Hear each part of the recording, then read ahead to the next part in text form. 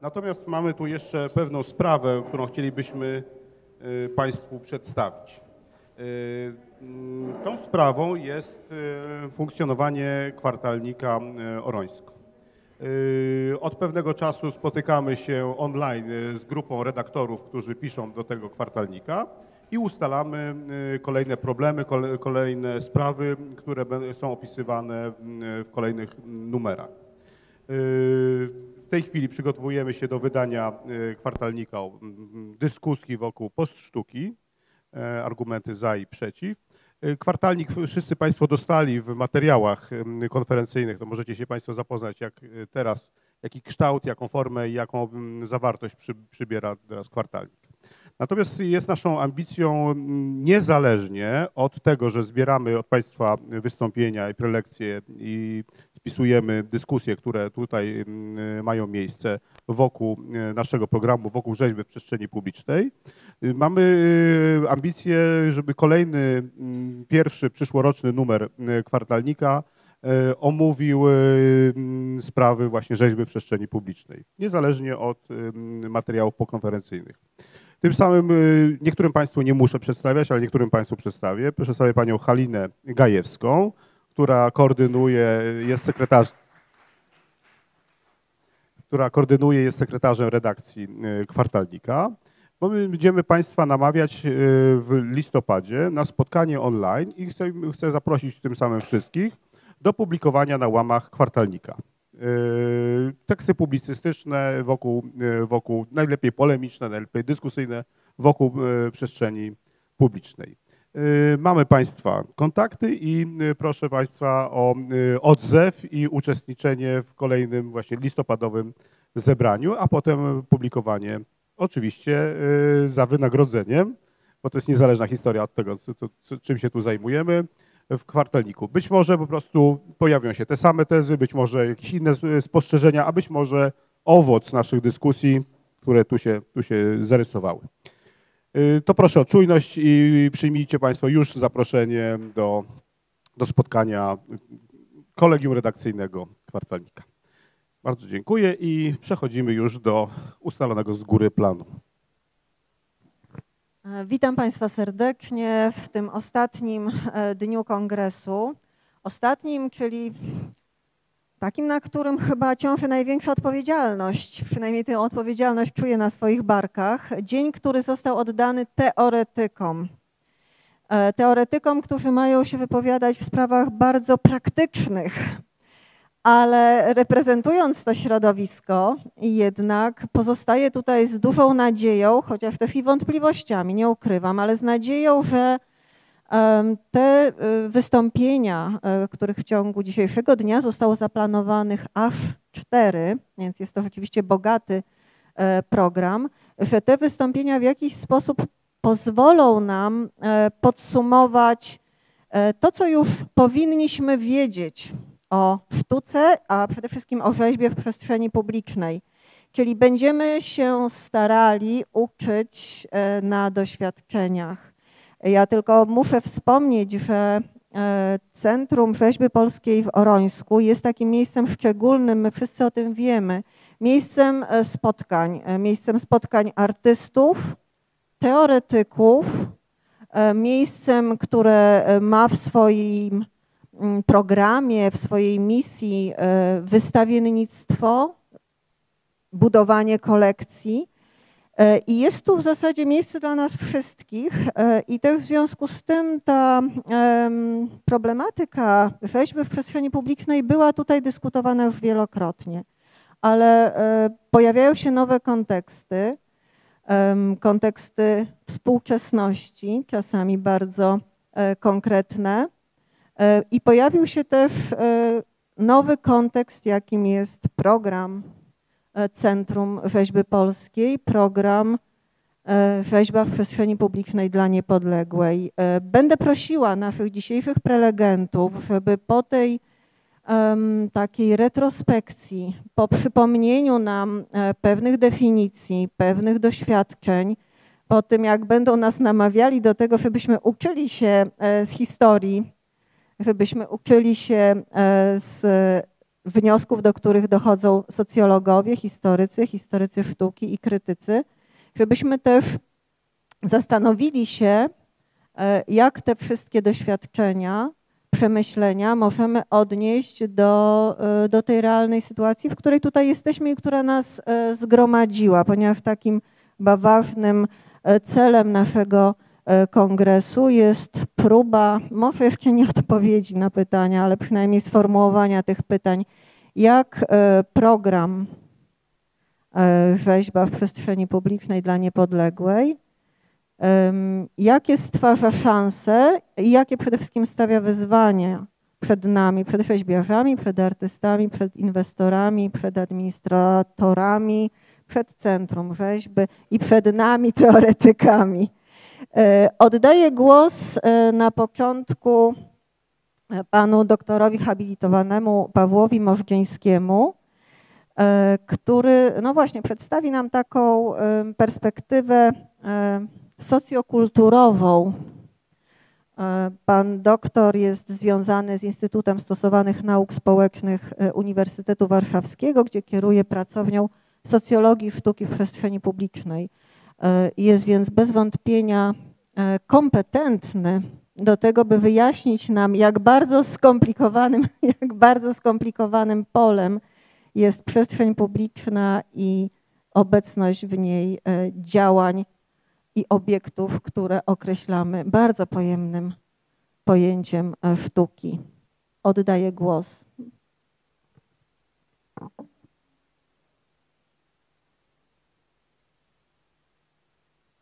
Raz, dwa, trzy. Już jest ok. Dziękuję bardzo po pierwsze za zaproszenie. E, jest mi bardzo miło spotkać się tutaj w tak szanow, szacownym, przepraszam, gronie i e, prelegentów, prelegentek i oczywiście artystów, artystek i, i e, publiczności. W związku z tym, no cóż, na wstępie powiem, ja nie wiem, czy Państwo będzie, e, ocenicie mnie jako kompetentnego.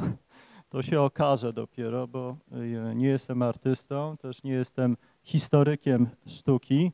E, jestem socjologiem, jestem antropologiem, jestem teoretykiem, ale też jestem badaczem.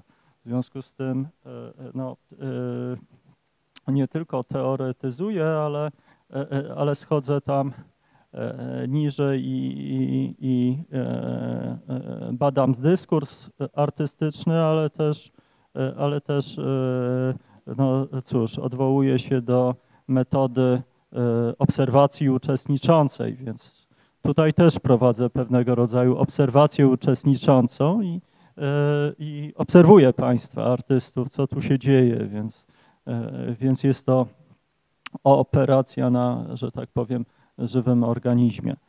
E, proszę Państwa, ja tutaj pokażę trochę inny punkt widzenia niż to, co było wczoraj. Niestety nie byłem obecny przedwczoraj, na pewno było bardzo interesujące, ale nie mogłem być. E, no i specyficzny punkt widzenia, który być może wcale Państwo nie zaakceptujecie. No to będzie też w porządku, jak najbardziej. Liczę w takim razie na e, dyskusję, bez względu na to, czy, czy, czy e, będzie to dla Państwa akceptowalne, czy nieakceptowalne, bo, bo oczywiście dyskusja jest najważniejsza tak naprawdę. Konflikty społeczne i E, przestrzeń miasta.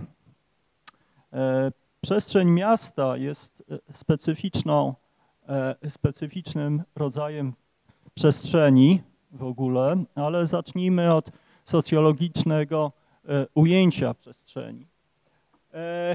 Po pierwsze, spo, społeczeństwo produkuje przestrzeń. E, oczywiście możecie Państwo być tym e, zdziwieni, no bo e, jest ta przestrzeń fizyczna, wydawałoby się, ta obiektywna, zewnętrzna wobec nas. Natomiast według części socjologów, antropologów przestrzeni, a także według mnie, mamy do czynienia z obcowaniem z przestrzenią zapośredniczonym przez różnego rodzaju kategorie społeczne, przez praktyki społeczne, przez myślenie, przez e, to wszystko, co powoduje, że w ogóle możemy istnieć, istnieć w społeczeństwie.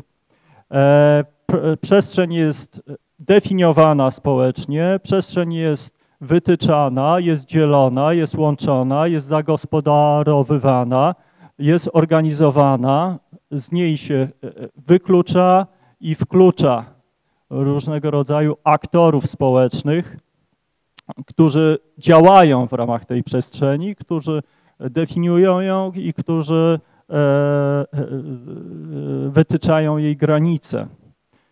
E, Pierre Bourdieu stwierdził, że istnieje taka e, ewidentna homologia pomiędzy przestrzenią e, fizyczną, przestrzenią miejską, a przestrzenią struktury społecznej. O to chodzi, no, że, że ci, co dominują w społeczeństwie, ci, co są na górze tej drabiny społecznej, oni też definiują przestrzeń i oni też e, zagospodarowywują przestrzeń.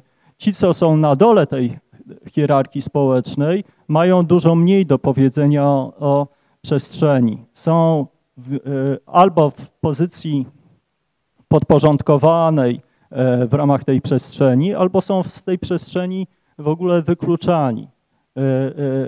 Wy, mm, wykluczani i wypychani z tej przestrzeni. No, oczywiście ci inni, ci obcy, e, którzy nie mają prawa być w tej przestrzeni, w której my jesteśmy. E, Kapitały, władza. Według Pierre'a Bourdieu e, bardzo ważną rolę w istnieniu jednostki, w istnieniu społeczeństwa istnie, e, zajmuje oczywiście władza. E, Mamy do czynienia z różnymi rodzajami władzy, z różnymi kategoriami, e, z aktorami społecznymi, którzy działają w ramach różnych światów społecznych. Światy społeczne, one są w pewnym sensie niepodległe, ale e, ta niepodległość jest ograniczona. Tak naprawdę Bourdieu i my socjologowie w ogóle mówimy o pewnego rodzaju autonomii świat, światów społecznych, więc e, e, świat społeczny sztuki też jest autonomiczny od XIX wieku wobec, wo, wobec innych światów społecznych i e, ta autonomia jest ograniczona. I chociaż mitologia artysty XIX, ta mitologia powstała w XIX wieku, mówi, że artysta jest w ogóle niepodległy, jest, e, e, istnieje poza społeczeństwem czy ponad społeczeństwem. E, Tak jak jeden z artystów moich znajomych powiedział, że w sztuce nie ma nic społecznego. No, nasze podejście socjologów jest oczywiście inne. Z władzą są powiązane ściśle kapitały. Te kapitały to e, pewnego rodzaju zasób e, jednostki i- grupy, który pozwala na umiejscowienie się w, e, hierarchii społecznej i w określonym polu społecznym. Te kapitały oczywiście są rozszerzone wobec tego, co Marx wymyślił, czyli Marx głównie mówił o kapitale ekonomicznym. Bourdieu wytyczył cztery kapitały w ogóle, czyli kapitał ekonomiczny, kulturowy, społeczny, a także nieraz mówił o symbolicznym. E, Gramsci, Laclau i Mouffe e, mówili o hegemonii kulturowej. E, W społeczeństwie następuje władza o panowanie, e, przepraszam, walka o panowanie w e, kulturze. Ta walka o panowanie w kulturze jest, e, jest fundamentalna, jeżeli chodzi o funkcjonowanie społeczeństwa. Mimo, że, że właściwie e, e, trójka tych badaczy ma pochodzenie lewicowe i jest związana z myślą marksowską, nie marksistowską, tylko właśnie marksowską, no to oni jakby przekroczyli ten punkt widzenia Marksa, który był wybiórczy. To znaczy jemu się wydawało i e, marksistom się wydawało, że e, byt kształtuje świadomość, że następuje podporządkowanie nadbudowy przez bazę, bazę ekonomiczną. E, Później już stwierdzono, że tak nie jest, to znaczy, że zarówno kultura wpływa na ekonomię, jak i ekonomia wpływa na kulturę w takim e, skrócie. E, No i e, możemy mówić o alienacji. O alienacji, czyli wykluczeniu e, jednostki z e, władzy nad przestrzenią. I e, wiąże się to, właściwie skutkuje to e, pewnego rodzaju poczuciem wyobcowania, obcości, także obcości e, wobec e, otaczającego świata e, w mieście. Różnego rodzaju grupy defaworyzowane e, próbują nieraz odzyskać miasto. Stąd e, jest pewnego rodzaju to sławne hasło e, prawo do miasta. Ru- Ruchy miejskie teraz się posługują tym pojęciem prawa do miasta w obliczu dominacji władzy politycznej, a tak naprawdę jeszcze większej do, dominacji wielkiego kapitału w przestrzeni mie- miejskiej. Deweloperzy rządzą miastem, tak? E, Współczesna architektura nie ma charakteru e, e, politycznego de facto, nie ma charakteru, nie określają tej architektury także architekci, jak miało to być według, według klasyków architektury modernistycznej, e, tak naprawdę określają tą, e, ten kształt miasta e, właśnie deweloperzy. E, Przestrzeń miejska e, jest, e, jest areną różnego rodzaju konfliktów. Jest to oczywiście związane z e, rodzajami władzy i rodzajami e, e, kapitałów, e, kapitałów, kapitałów posiadanych przez grupę i przez jednostkę.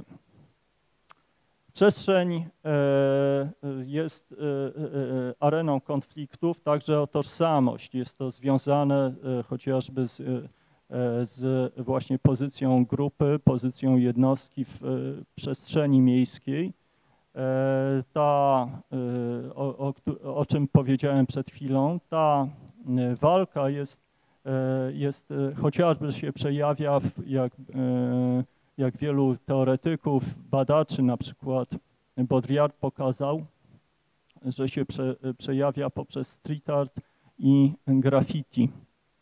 E, Też e, ważnymi e, kategoriami społecz, kategoriami dla teoretyków i badaczy jest kategoria zakłócenia i przechwycenia.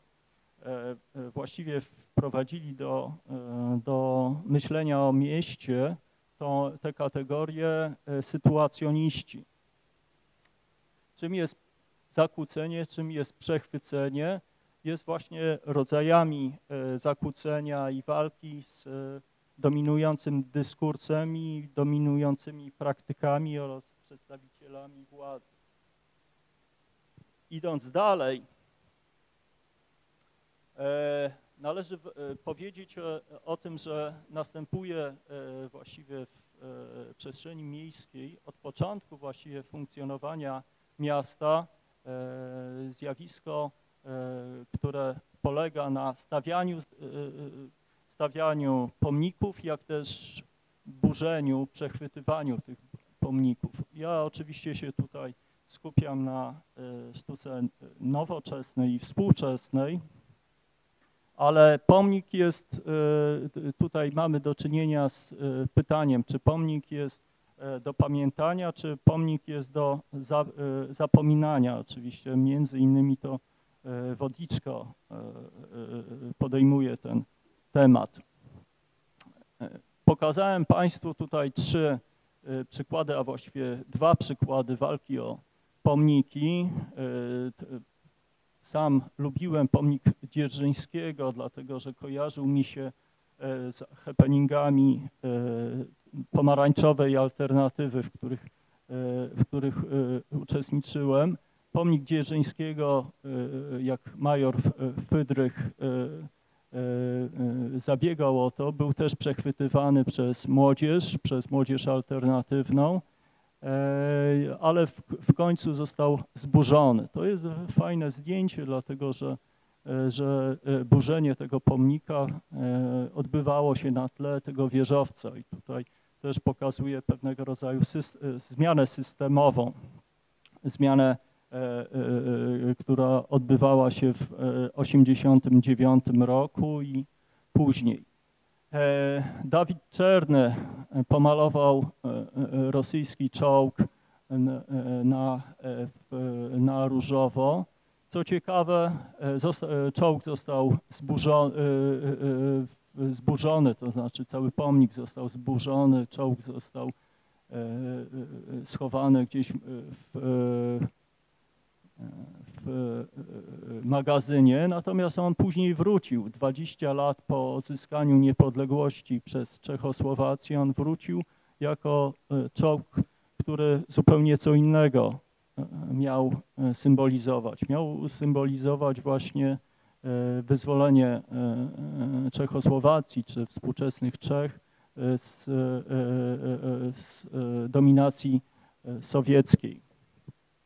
Ale mamy do czynienia też e, z innymi rodzajami przechwytywań. E, Też e, walka o pomniki teraz niedawno toczyła się w świecie anglosaskim głównie. Zburzono w Bristolu sławny pomnik handlarza niewolnikami. I, I co ciekawe, w sposób nielegalny pojawiła się, pojawił się e, na miejscu, na cokole e, e, zburzonego pomnika e, statua walczącej kobiety, która miała, e, czarnej kobiety, która miała symbolizować e, odzyskanie praw e, czarnych czy nad miastem, ale też uzyskanie praw politycznych. Nie bez powodu, myślę, jest tutaj przedstawiona kobieta. E, e, Jest to oczywiście związane jeszcze z konfliktem feministycznym.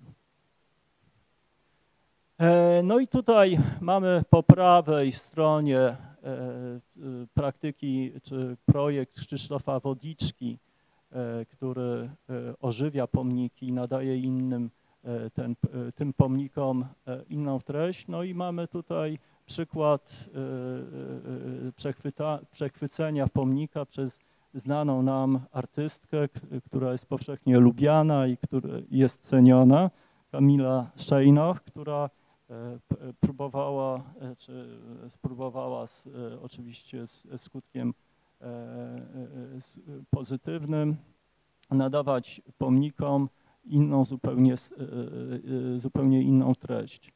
E, Po, po, e, gdy się przejdziemy e, po parku otaczającym nas, oczywiście możemy zobaczyć kolejną huśtawkę. Ta huśtawka zupełnie ma inne tutaj znaczenie, ale być może jest kontynuacją.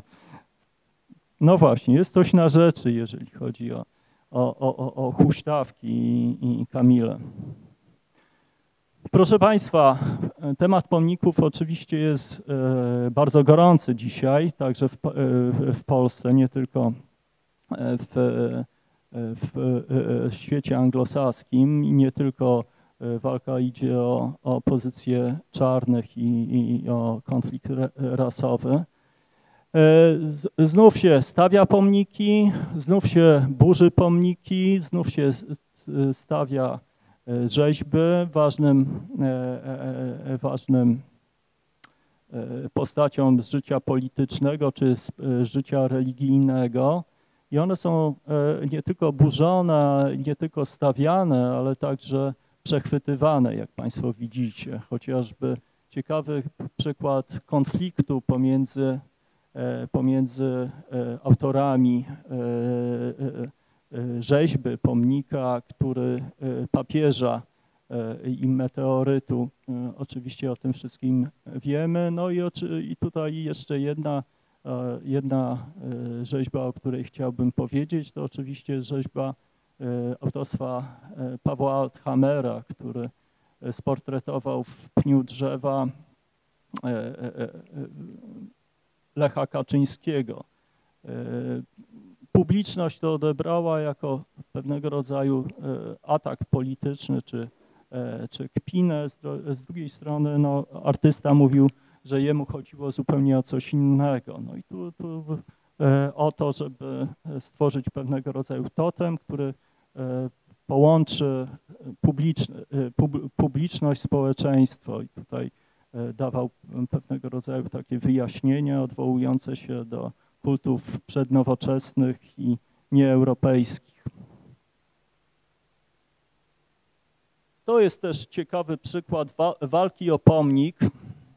Następ, tutaj po, ta walka, walka miała charakter e, e, estetyczny, ale także oczywiście ideologiczny i ekonomiczny.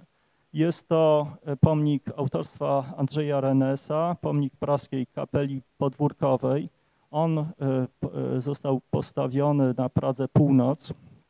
To ważna, jak Państwo wszyscy pewnie wiecie, dzielnica w Warszawie e, o starych tradycjach. Między, właśnie w tradycje praskie, praskie był, była włączona także tradycja muzyków grających na podwórkach. E, O ten pomnik e, był, e, toczył się spór przed powsta- postawieniem pomiędzy aktywistami, częścią mieszkańców i artystami, którzy nie chcieli dopuścić do, do postawienia tego pomnika. Z drugiej strony mieliśmy arcybiskupa Głodzia i, i przedstawicieli miasta oraz, oraz niektórych biznesmenów. E, e, e, e, chciał postawić ten pomnik. Jednym z argumentów było to, że fundatorem będzie biznes, że, że mie, mieszkańcy, że, że podatnicy nie zapłacą za to nic. Później się okazało jednak, że biznes się wycofał i, i, ten fundatorem okazało się społeczeństwo. Mimo, że ten pomnik nie został zaakceptowany przez powiedzmy część środowiska artystycznego z różnego rodzaju względów, no, ze względów estetycznych, on został e, jednak zaakceptowany przez e, społeczeństwo, e, przez przynajmniej część społeczeństwa, przez mieszkańców Pragi Północ. Stał się dużą atrakcją, także, także turystyczną. Wielu turystów tam przyjeżdża, fotografuje się. Kiedyś można było SMS-a wysłać i ten pomnik grał jeszcze, ale coś się zepsuło i już teraz nie gra. Ale ma, mamy do czynienia tutaj właśnie z takim wielopiętrowym też e, konfliktem, który, e, e, który przechodzi różnego rodzaju stadia. Stadia od, od, od odrzucenia przez akceptację czy tolerancję, aż e, przyjęcie i, e, i e, stworzenie różnego rodzaju nowych praktyk społecznych wokół, wokół w tej przestrzeni społecznej i miejskiej. Miło, Miłon Płon, jedna z takich najważniejszych teoretyczek sztuki publicznej, sztuki miejskiej, stworzyła taką typologię e, sztuki publicznej e, czy sztuki miejskiej i pierwszą kategorią tej typologii jest sztuka e, w przestrzeni miejskiej. I e, tutaj e, to ograniczyłem do e, rzeźby w przestrzeni miejskiej. I e, Miłon Kłon mówi tak, że, e, że są to e, pewnego rodzaju, rodzaju instalacje, e, e, rzeźby oraz, e, oraz inne obiekty, czy także performanse, które odbywają się co prawda w przestrzeni miejskiej, ale nie nawiązują do tej przestrzeni. Są właściwie aroganckie wobec tej przestrzeni i nie wchodzą w dialog z tym, co się wokół dzieje i z publicznością. Tutaj za, za przykład e, podała e, twórczość e, Henry'ego Mura i Caldera, Aleksandra Caldera, Henry Moore mówił tak, że jego punktem odniesienia dla niego nie jest otaczające miasto, tylko niebo. I w gruncie rzeczy on tworzył rzeźby, i, e, którego, e, dla, które mogły stanąć wszędzie. E, Zarówno być w galerii, jak by być też poza galerią. E, Oczywiście możemy tutaj zadać pytanie o e, polityczność tej sztuki i wielu, wielu teoretyków czy badaczy stawia to pytanie. Czy jest to sztuka zaangażowana społecznie, czy rozwiązuje pewne problemy społeczne? Rosalind Deutsche mm, mówi tak, że e, sztuka niezaangażowana społecznie e, jest e, funkcjonalna i opłaca się. I teraz można, możemy zadać pytanie, e, kto dąży do tego, żeby postawić w przestrzeni miejskiej e, obiekty, które nie są zaangażowane politycznie. Wielu, e, e, e, od pewnego czasu e, wiadomo, że e, szkoła nowojorska była sponsorowana przez różnego rodzaju fundacje, które były założone przez CIA. No i e, odbywało się to w, e, w e, okresie e, po- polowania na czarownicę. Tutaj był, tu było, e, był pewnego rodzaju konflikt pomiędzy władzami, pomiędzy CIA, a pomiędzy e, władzami politycznymi. CIA e, myślała bardziej e, e, globalnie, uznali, że, że sztuka abstrakcyjna może być pewnego rodzaju wizytówką Stanów Zjednoczonych i może poprawić wizerunek tego, co Stanów Zjednoczonych i, i naprawić to, co politycy psuli, to znaczy pokazywali, że właściwie Stany Zjednoczone e, są e, krajem e, podobnym do Związku Radzieckiego, który, w którym następuje właśnie silna walka z e, kulturą e, niezależną czy e, autonomiczną wobec e, świata polityki. E, Inny przykład e, e, e, rzeźby w przestrzeni miejskiej, czy w ogóle sztuki w przestrzeni miejskiej jest to e, sztuka, e, sztuka site specific. E, Ta, e, ten rodzaj sztuki, te ro- e, rodzaje rzeźby w przestrzeni miejskiej już inaczej funkcjonują. Artyści e, e, tworzą obiekty, które nawiązują do tej przestrzeni. Oczywiście taką, e, taką kanoniczną pracą jest e, Tilted Arc e, Richarda Sery. Sera postawił e, zakrzywiony łuk na e, Federal Plaza.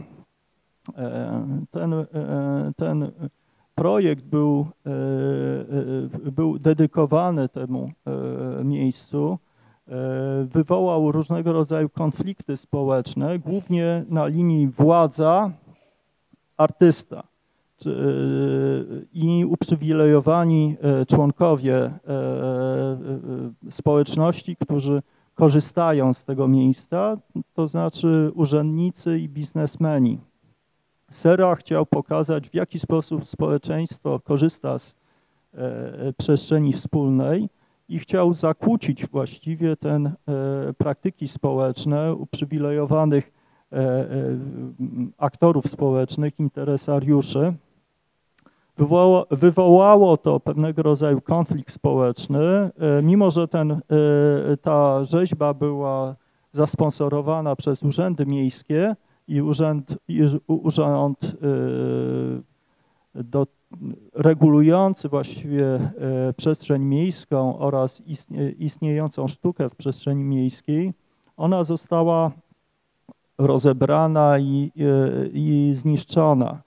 Serę pytano, czy można ten obiekt przesunąć, umieścić w e, innym miejscu, albo e, nawet w galerii, ale Sera się na to nie zgodził. W końcu został ten e, projekt, te, ta instalacja została wyrzucona, zdestruowana. Mm, To wywołało też oburzenie ze strony części artystów. przepraszam, Steve Davis na przykład powiedział, że Nowy Jork zaczyna się zmieniać w miasto prostaków. Jestem tym bardzo zawiedziony. E, To miasto prostaków, no cóż, to, to e, e, ta wypowiedź w pewnym sensie pokazuje, w jaki sposób e, następuje wojna pomiędzy artystami i e, resztą społeczeństwa. Kolejnym e, rodzajem e, przestrzeni, e, kolejnym rodzajem e, e, obiektów e, e, artystycznych i w tym rzeźb w przestrzeni miejskiej są, jest sztuka społeczności, czy sztuka w interesie społecznym, czy community art.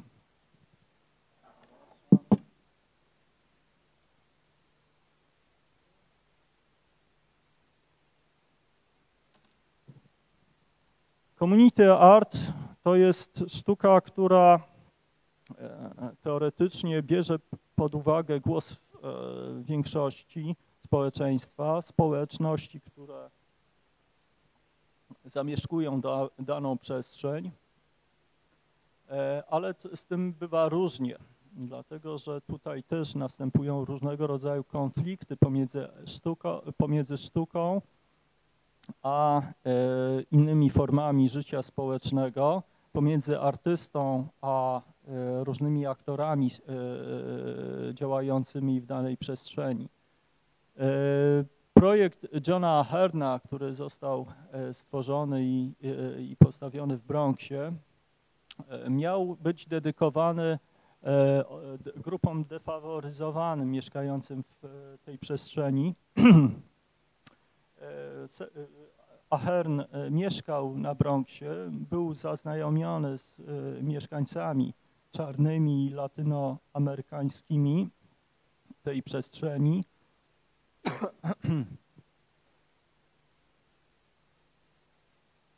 Nie, dziękuję.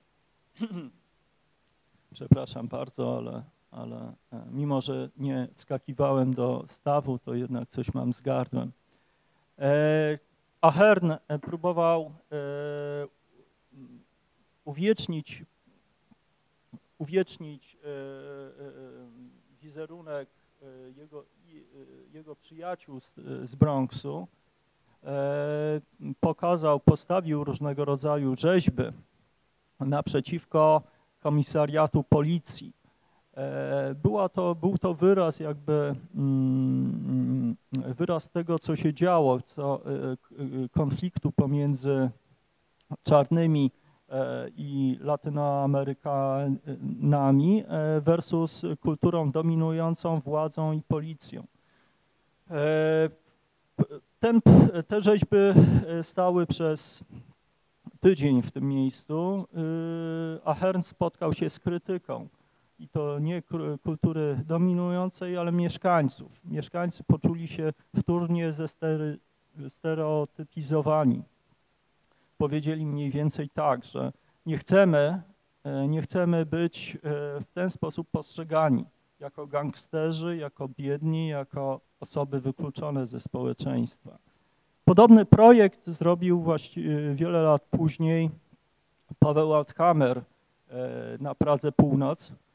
E, No i się okazało, że, e, że mamy do czynienia tutaj z różnymi, e, z różnymi głosami społeczności. On, jak Państwo pewnie wiecie, pana Gumę stworzył w ramach zajęć art terapeutycznych czy, czy socjoterapeutycznych, które, które przeprowadził z młodzieżą. Młodzież wybrała osobę, która, którą chc- chcieli e, e, u- uwi, e, jakby uwidocznić i upamiętnić e, w przestrzeni Pragi. Natomiast e, ta rzeźba się nie, nie spodobała mieszkańcom i nie, e, nie spodobała się e, e, rodzinie pana Gumy. Pan Guma był alkoholikiem, który stał e, gdzieś w bramie e, i w specyficzną e, relację wchodziła młodzież z nim. Natomiast e, mieszkańcy i rodzina chcieli, właściwie byli oburzeni tym, że artysta w ten sposób, e, e, w ten sposób e, wyobraża sobie e, tego e, mężczyznę, który który tam mieszkał, no, poczuli się też wtórnie za, zestereotypizowani. O ile Ahern e, sam zdestruował te rzeźby i wy, wy, e, wycofał je, o tyle e, Althammer nie wycofał tych rzeźb. Te rzeźby, co ciekawe, zostały zmuzealizowane. One przeszły do muzeum, do zbiorów sztuki, Muzeum Sztuki Nowoczesnej i były później sprzedane tutaj na rynku sztuki. Tutaj e, okazało się, że, e, że e, Althammer też zrobił kopię tego, tego oryginału. Antypomniki. No i tutaj jest pytanie, czy społeczeństwo ludzi, lubi sztukę stawianą przez artystów w przestrzeni miejskiej. No i, i, i Państwo wczoraj, to była ciekawa dyskusja, która odbywała się w, e, e, w, po e, prezentacjach e, e, między innymi Krzysztofa Bednarskiego. Pewnego rodzaju wniosek z tej dyskusji był taki, że raczej społeczeństwo jest niechętne, czy w ogóle odrzuca interwencje artystów. Problem jest taki, że, że w community art jednak po, po, w ramach tego nurtu jednak e, pojawiają się e, interwencje, które są akceptowane przez społeczeństwo. Poprzednio e, pokazywałem, że właściwie różnego rodzaju grupy nie akceptują e, interwencji artystycznych, traktują je jako obce, no ale właściwie no, nie jest tak źle. To znaczy, że niektóre instalacje są za, zaakceptowane i są, e, stają się częścią e, e, krajobrazu miejskiego, czy, e, czy są przynajmniej e, jakby ośrodkiem e, zmieniających się praktyk społecznych. Generalnie no, można powiedzieć, że operacja na zieleni, zalesianie, zazielenianie e, e, miasta jest, e, jest taką bardzo lubianą praktyką artystyczną i akceptowaną przez społeczeństwo. Tutaj dużo się mówi te, też o artywizmie, czyli połączenie aktywizmu społecznego ze sztuką. No i artywiści często się odwołują do, do, do y, takich y, y, y, praktyk jak zazielenianie, no, rozpłytowywanie czy rozbetonowanie miasta. E, okej. I, e, i e, e, tworzenie różnego rodzaju nowych praktyk społecznych. E, Kolejnym, kolejny przykład, już zmierzamy do końca, to jest konflikt znów estetyczny, konflikt o miejsce. Mm, Wiktor Pasmore e, stworzył taką brutalistyczną formę, e, formę w Wielkiej Brytanii, e, abstrakcyjną, brutalistyczną, modernistyczną. Ona nie została w pełni zaakceptowana przez społeczeństwo. Młodzież obspr- obsprejowała to, to miejsce, traktowała je jako miejsce swoich spotkań. Dorośli stwierdzili, że, że, że nie jest to dobre miejsce, dlatego że, że ono jest e, w złym stanie i często jest e, no, po prostu obsikane przez e, różne grupy interesariuszy i osób, które korzystają z tej przestrzeni. I Pasmora zapytano, co on sądzi o, o, o tym, że ten jego obiekt został obsprejowany. Artysta odpowiedział, to bardzo dobrze. Graffiti humanizuje tę przestrzeń. No, a na to pytanie pa, padło, no dobrze, a co z mieszkańcami? On, y, artysta powiedział, e, tak, e, może wyjściem by było to, żeby wy, wysadzić w powietrze okoliczne domy i wtedy konflikt zniknie. E, Na koniec zupełnie e, taki, p- y, taki e, projekt e, Huberta Czerepoka. E, Muzeum Polin zamówiło u niego pewną rzeźbę w ramach rezydencji. Czerepok postawił instalację, e, która e, została nazwana Płot Nienawiści.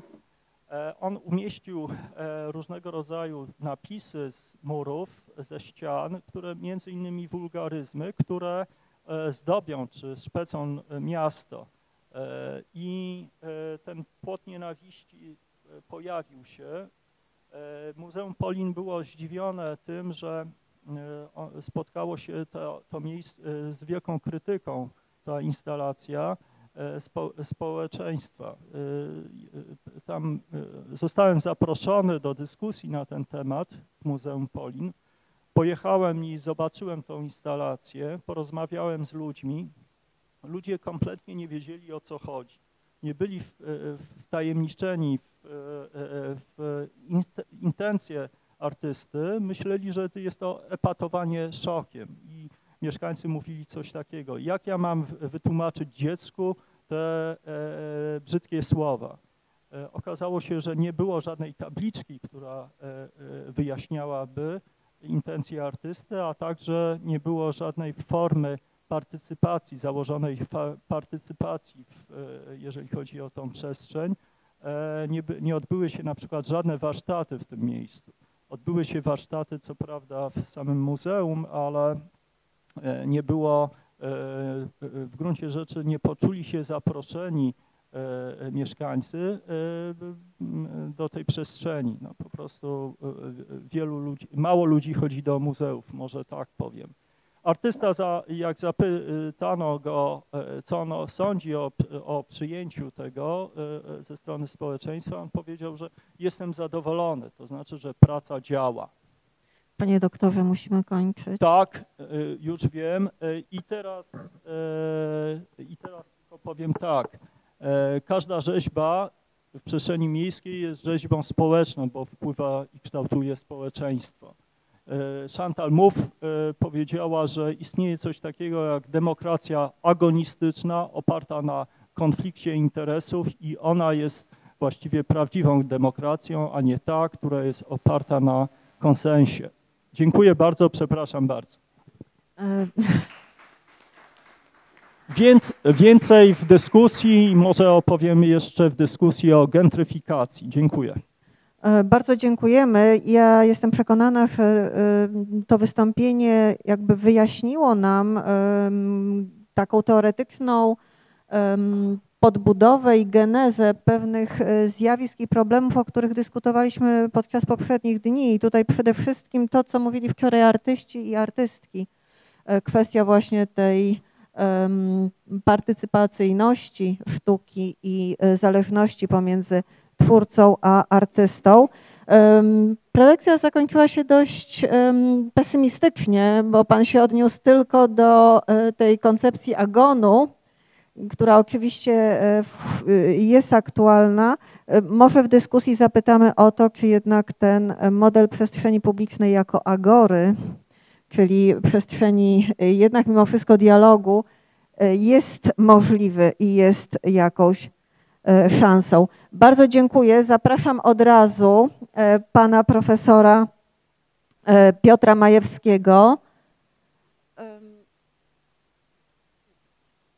Tylko dla porządku ja sobie pozwolę wstać i przedstawić karteczki, żebyśmy się dobrze prezentowali na wizji. Czyli nie wiem, e, czy panu tu będzie wygodniej? To może zrobimy małą właśnie. O. Myślę, że już teraz jest wszystko e, pod kontrolą i zgodnie z rzeczywistością. E, Pan profesor e, Piotr e, Majewski, który jest historykiem, więc będziemy mieć teraz podróż e, historyczną e, i powrót, przypomnienie zapewne doświadczeń, które powinny być dla nas jakąś nauką, jakimś stanem badań, na którym mam nadzieję będziemy budować nasze kolejne e, procedury i, e, i decyzje. E, Pan profesor pracuje na Uniwersytecie kardynała Stefana Wyszyńskiego w Warszawie. Zajmuje się dość szerokim spektrum zadań i badań, między innymi badaniami nad muzeami, nad kulturą pamięci, ale również nad problemem zarządzania kulturą, dziedzictwem i instytucjami, które są e, za te obszary odpowiedzialne.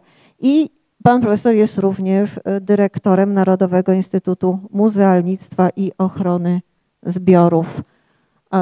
Oddaję panu głos i zamieniamy się w słuch. Dziękuję bardzo. Dziękuję przede wszystkim za e, zaproszenie do udziału e, w konferencji i chciałbym e, zaproponować Państwu swego rodzaju podróż do przeszłości, ale oczywiście z taką intencją, aby w tej przeszłości odnajdywać, odnajdywać różnego rodzaju e, motywy, e, epizody, które mm, mają taki wymiar praktyczny i wymiar użyteczny mm, dla naszych dzisiejszych dyskusji i mm, dzisiejszych y, wyborów. Z mego punktu widzenia, odwołując się do doświadczeń mm, tego, co się czasem może niezbyt zręcznie nazywa mm, zarządzania pamięcią czy, czy zarządzania w instytucjach mm, kultury interesujące. mm, Podejście do historii jest interesujące wówczas, jeśli pozwala na e, wyciągnięcie takich wniosków praktycznych, e, wniosków użytecznych, które nie czyni z historii m, e, takiego swego rodzaju lamusa zamkniętych przedmiotów, z których niewiele wynika i nie do końca m, jesteśmy w stanie zrozumieć ich współczesną użyteczność. Więc w tym sensie ta podróż, e, w którą chciałbym e, jakby Państwa e, ze sobą zabrać, ma taki wymiar, e, czy ma mieć taki wymiar e, użyteczny. I wybrałem e, takie e, przykłady, takie epizody, w których e, umiejscowienie e, rzeźby w przestrzeni publicznej zawsze odnosi się do jakiegoś istotnego kontekstu m, zmian politycznych, zmian ideowych czy zmian społecznych, m, w których to epizodach ta rzeźba z jednej strony staje się m, świadkiem tego, co się dzieje, świadkiem zmian społecznych, ale też w niektórych sytuacjach może się stać ich ofiarą w takim sensie dosłownym, kiedy ulega, m, kiedy ulega zniszczeniu. Zagadnienie, które, mm, e, które Państwu e, chciałbym e, przedstawić, czy raczej przypomnieć, e, no doczekało się już bardzo obfitej e, literatury przedmiotu, która e, oscyluje wokół takich kwestii jak e, ideologizacja e, architektury, ideologizacja przestrzeni społecznej. E, No nie ukrywam, że z mego osobistego punktu widzenia jakby najciekawszy czy takim punktem wyjścia do, do rozważań i zainteresowań naukowych e, była kwestia odbudowy przestrzeni historycznej, odbudowy Warszawy jako takiej, takiego mm, miejsca i takiej sytuacji, w której m, skupiały się zarówno różnego rodzaju interesy czy grup społecznych, artystów, e, ideologów, polityków, e, społeczeństwa, przecież też niejednolitego, w konkretnej bardzo sytuacji, e, w konkretnej bardzo sytuacji historycznej. Takim pierwszym epizodem e, świadectwa i świadczenia rzeźby o mm, zmianach społecznych, zmianach e, politycznych. E, Pierwszym epizodem, który wybrałem jest, e, są lata po 1918 roku, po odzyskaniu niepodległości, kiedy e, rzeźba staje się świadectwem tego, co jakby wówczas nazywano derusyfikacją przestrzeni mm, miejskiej, przestrzeni, y, przestrzeni publicznej, mm, y, która to mm, derusyfikacja, no niejako zrozumiała po jakby w sensie pewnego odruchu emocjonalnego po 1918 y, roku, zmieniała z jednej strony przestrzeń miasta narzuconą w latach minionych, w latach poprzednich. Tutaj takim e, bardzo wyrazistym przykładem jest estetyka e, pałacu, e, pałacu Staszica. Z drugiej strony jednak ta przemiana estetyczna wprowadzała pewien kanon architektury postulowanej i również miejsca rzeźby w tej architekturze.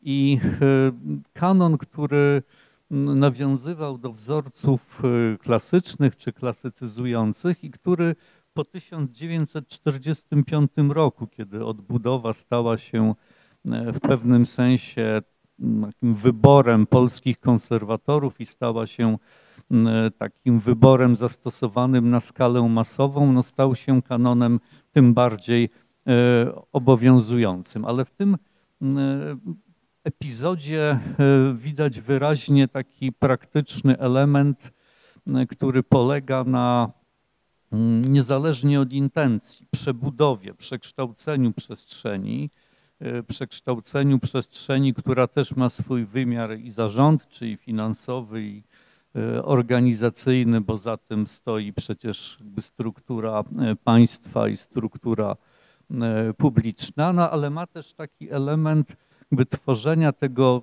tego wzor, tak pewnego wzorca przebudowy i przekształcenia miasta, który czy w okresie międzywojennym mógł być stosowany w skali mikro, w skali ograniczonej, w skali poszczególnych y, budynków, natomiast po wojnie, czego oczywiście w roku 1918 nie, nie dało się przewidzieć, po, po, po II wojnie światowej mógł zostać zastosowany w skali masowej ze względu na zniszczenie, ze względu na zniszczenie mm, e, miasta.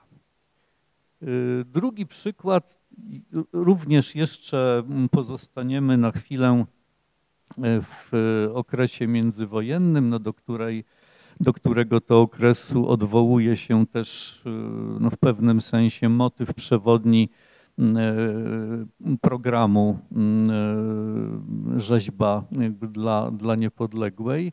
Mianowicie rzeźba i, i, i szerzej sztuka jako pewien wyraz aspiracji państwotwórczych czy państwowotwórczych, jak, jak to wówczas e, określano, rozumiany jednak jakby na kilku płaszczyznach. No bo z jednej strony ta międzywojenna czy przedwojenna modernizacja to jest taka modernizacja, którą można nazwać modernizacją punktową, czy modernizacją wyspową, która tworzy pewne wzorce e, rozwojowe, no do których jakby reszta kraju musi jeszcze nadążyć i ten czas nadążania nie jest, nie jest krótki.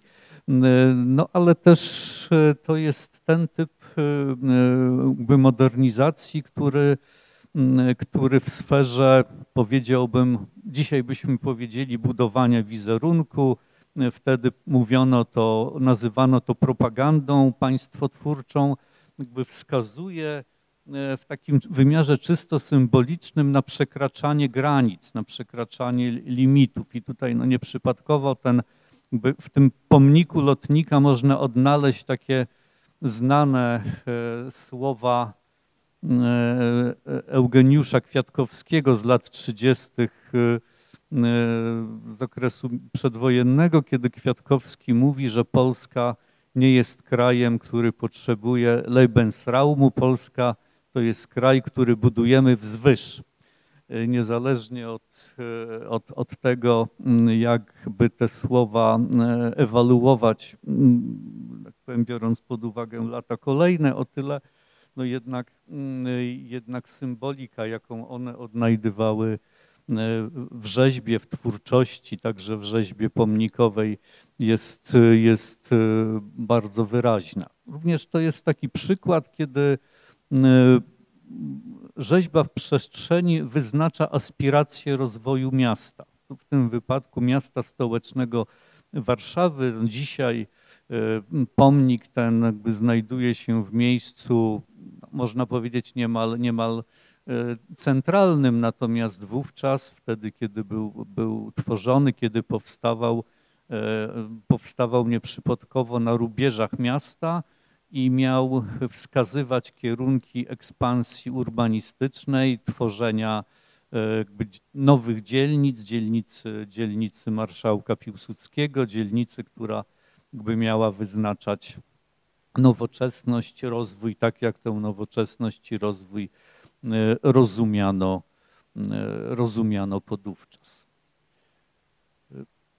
Tutaj przychodzi miejsce na historię, ale bardzo postrzeganą aktualnie, bo e, tak się składa i nie muszę tego, tego, tego wyjaśniać, że mm, e, niszczenie dóbr kultury, mm, niszczenie przestrzeni publicznej, niszcze, niszczenie przestrzeni miejskiej mm, staje się e, także naszym doświadczeniem dnia codziennego, może nie naszym w sensie dosłownym, natomiast e, bliskość wojny, kontakty i bieżąca współpraca z e, koleżankami i kolegami z Ukrainy powoduje, że to, co zagraża ich dziedzictwu kulturowemu, staje się dla nas bardzo dosłowne i, i bardzo zrozumiałe. W tym sensie, jeżeli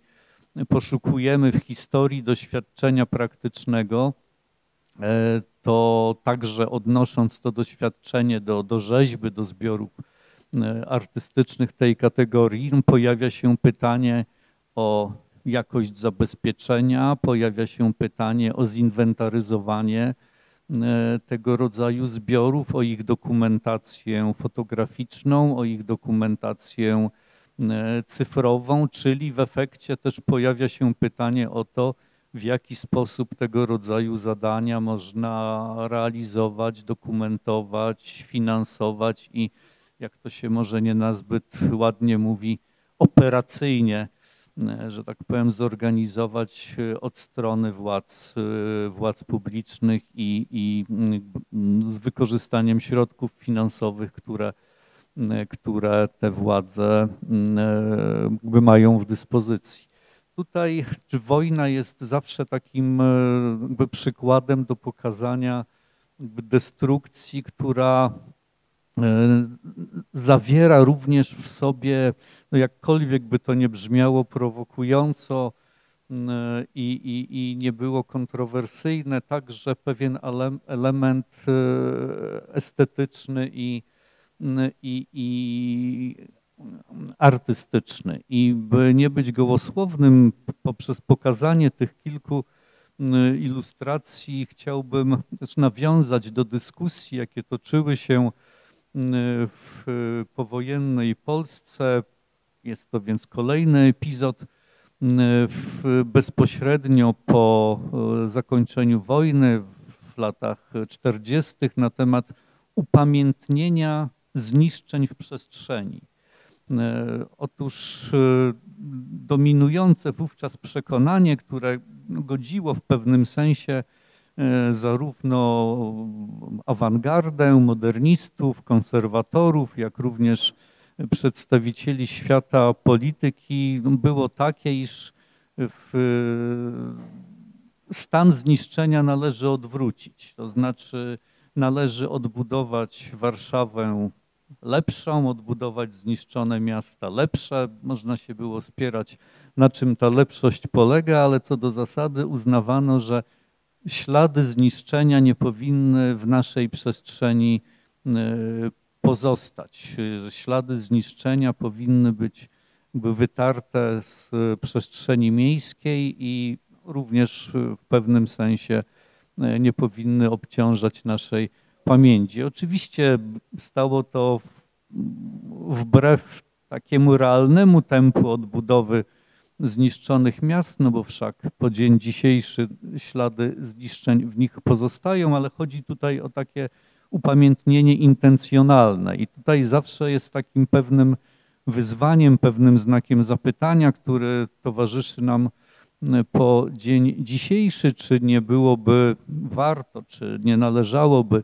pozostawić w przestrzeni e, miejskiej, chociażby w przestrzeni Warszawy, takich ostańców, takich e, ruin o charakterze pomnikowym, jakie y, ku przestrodze zapewne pozostawiono w, w Berlinie, y, jak i, mm, pozostawiono w, w Coventry, no i jak i do niedawna e, też istniał w Dreźnie do, do, do czasu odbudowania tamtejszej katedry. Przypomnę, że e, w latach e, 60.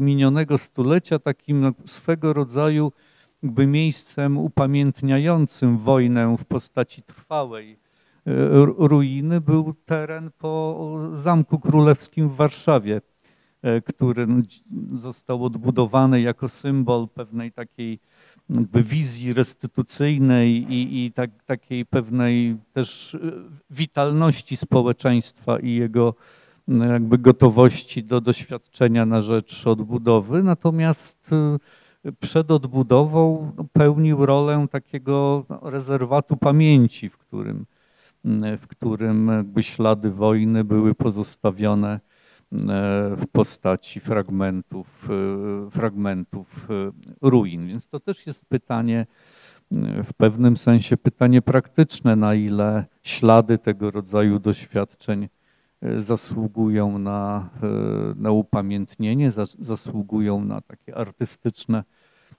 potraktowanie, no czy też powinniśmy dalej odbudowywać, nie tylko e, kończąc odbudowę na, na Pałacu Saskim, no ale może e, kontynuując e, również ją w wypadku innego rodzaju obiektów zniszczonych. No i wreszcie kolejny epizod też już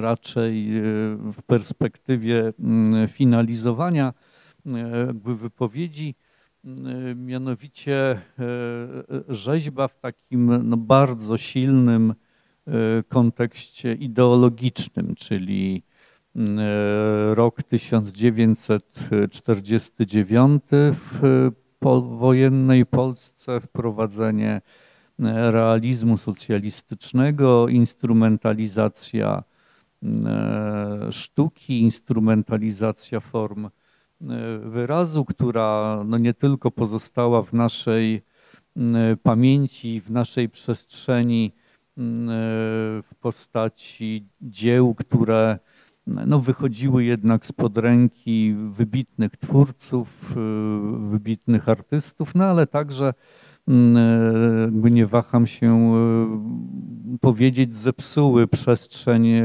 historyczną wtedy, kiedy były przejawem twórczości upamiętniającej e, lokalne urzędy bezpieczeństwa, czy, czy, czy lokalnych jakby działaczy partyjnych, czy też e, czy też e, milicjantów poległych w walce o utrwalenie e, władzy ludowej, jak to się jakby wówczas oficjalnie e, nazywało. To też e, dyskusja o jakby tym okresie mm, e, i w sztuce, tym okresie jakby w kulturze miejsce e, miejscu przestrzeni historycznej, e, rzeźby w tym, w tym kontekście jest istotna także dlatego, ponieważ, m, e, ponieważ dotyczy jakby kwestii ciągłości i nieciągłości pewnych środowisk, generacji, ich wyborów. Znaczy Dla mnie, nie ukrywam, zawsze interesujące było rozstrzygnięcie, no na ile na ile wobec socrealizmu odnajdywali się lepiej lub gorzej e, moderniści, przedstawiciele awangardy, konserwatorzy, e, na ile udawało im się zachować pewną ciągłość warsztatów niezależnie od e, nacisku ideologicznego, no na ile był to no, w pewnym sensie czas e, w, e, w polskiej e, sztuce i w polskiej kulturze zepsuty. Okazuje się, że czy ukazuje się ostatnio sporo publikacji, które no niejako wracają raz jeszcze do tego czasu, który wydawałby się już zamknięty i oceniony i Myślę, że też jakby warto potraktować to jako pretekst do, do dyskusji, na ile ideologizacja przestrzeni publicznej, na ile ideologizacja przestrzeni jakby miejskiej jest takim zagrożeniem właściwym tylko danemu, zamkniętemu czasowi historycznemu, no czy tak jak wskazywał mój przedmówca, jest czymś no, bardziej, bardziej uniwersalnym, jakby abstrahując od, od, od, od, od systemu, który jest tej ideologizacji źródłem. No i wreszcie to już na koniec. Ostatni, ostatni slajd, już bardzo tak dotyczący własnych podróży po przeszłości, własnych podróży po jakby przestrzeni, przestrzeni miejskiej, przestrzeni w tym wypadku, przepraszam, prowincjonalnej, lokalnej, ale też mający w sobie wymiar praktyczny, czyli pytanie, czy to, o czym zaraz w krótkich słowach opowiem, też jest kwestią wymagającą, godną opieki ze strony władz publicznych, czy powinno jakby znajdować jakieś formy w postaci wsparcia finansowego, czy wsparcia jakby w formie, w formie programów. Mianowicie to jest obelisk znajdujący się w jednej z mazurskich, jednej z mazurskich miejscowości, który i dosłownie i w przenośni. Jest chroniony przez figurę Matki Boskiej, dosłownie i w przenośni, ponieważ ten obelisk pochodzi z okresu międzywojennego i był, jest jednym z takich typowych form upamiętnienia, którą ówczesne społeczności lokalne by dedykowały mieszkańcom wsi, mieszkańcom gmin, którzy polegli w pierwszej, w pierwszej wojnie światowej. Oczywiście trzeba się troszeczkę przyjrzeć i wczytać, aby na tym obelisku znaleźć imiona, nazwiska ludzi, którzy kiedyś na tych terenach mieszkali i, i, i, i zginęli. Natomiast niewątpliwie obelisk ocalał. Obelisk jest dokumentem przeszłości. Obelisk został również w ten sposób ocalony, bo no, jak wiemy, nie wszystkie z tego rodzaju obiektów, no nie zawsze tak naładowane ideologicznie, na przykład ideologią nazistowską, no nie wszystkie z tego czasu, nie wszystkie z tego czasu przetrwały. Tak więc można powiedzieć, że ten ten przedmiot, ten, ten, ten obelisk jest również takim uwarstwieniem różnego rodzaju pamięci historycznych, zarówno tych, które wiążą się z dziedzictwem, zamkniętym jednak w sensie populacyjnym, dziedzictwem jakiegoś terytorium, na które jakby nakładają się znaczenia wnoszone przez kolejnych jego mieszkańców, ale wnoszone w sposób, który no, z jednej strony może budzić dyskusję i kontrowersje natury estetycznej, natomiast z punktu widzenia jakby zachowywania czy ocalania pamięci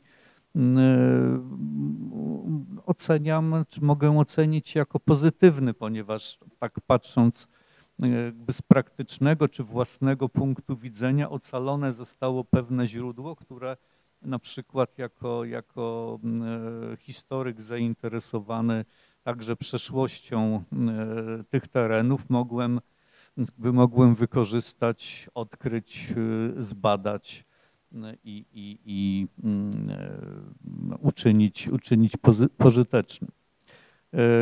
Tak więc chciałbym kończyć już powoli swoją wypowiedź, zostawiając Państwa z takim przeglądem różnego rodzaju historycznych epizodów e, historycznych wydarzeń, sytuacji, w których e, rzeźba patrzyła, rzeźba świadczyła, rzeźba doświadczała, rzeźba była naznaczana bądź, bądź naznaczała. Natomiast każdy z tych przypadków, jak starałem się może w sposób nieoczywisty i nie, nie narzucający się E, na pierwszy rzut oka starałem się wskazać, iż znajdują się tu pewne paralele z naszą e, sytuacją e, współczesną, także z taką sytuacją rozumianą bardzo praktycznie, do której zachęcała nas pani, pani, pani profesor, aby odnajdować w nich pomysły, motywy na profilowanie wsparcia ze strony władz publicznych, wsparcia finansowego dla różnego rodzaju form upamiętniania rzeźby w przestrzeni i też relacji tej rzeźby wobec przestrzeni. Mam nadzieję, że mm, udało mi się kilka inspiracji tutaj dodać. Bardzo Państwu dziękuję za cierpliwe wysłuchanie wystąpienia. E, ja również bardzo dziękuję za dwa e, arcyciekawe wystąpienia, które e, bardzo dobrze myślę ze sobą współdziałają, pokazując przede wszystkim, że przestrzeń publiczna nie jest i nigdy nie była neutralna ani przeźroczysta i to musimy sobie wyraźnie przed naszą dyskusją jakby zapamiętać i uświadomić, ale też i dzieła sztuki, e, rzeźba, która najbardziej nas tutaj interesuje w tych naszych rozważaniach, też ani przeźroczysta, ani neutralna nigdy nie była i nie będzie. E, to jest też ciekawe w kontekście e, artystów, którzy podnosili, Państwo podnosiliście tę kwestię jakiejś swojej niezależności i wolności w kontekście zarówno odbiorców przede wszystkim, ale i e, inwestorów.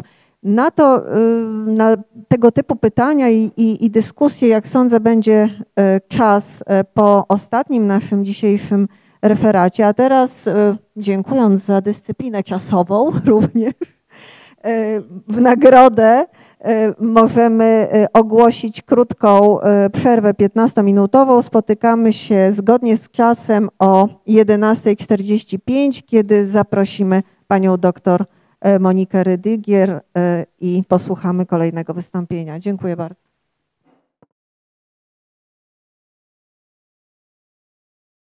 Ale jest też kuratorką wielu interesujących wystaw. Pracuje przede wszystkim związana jest z Międzynarodowym Centrum e, Kultury e, w Krakowie, e, a w tych obszarach badawczych specjalizuje się ogólnie rzecz ujmując w historii sztuki nowoczesnej, współczesnej, ale szczególnie właśnie w dziejach rzeźby, architektury i rzeźby przestrzeni publicznej.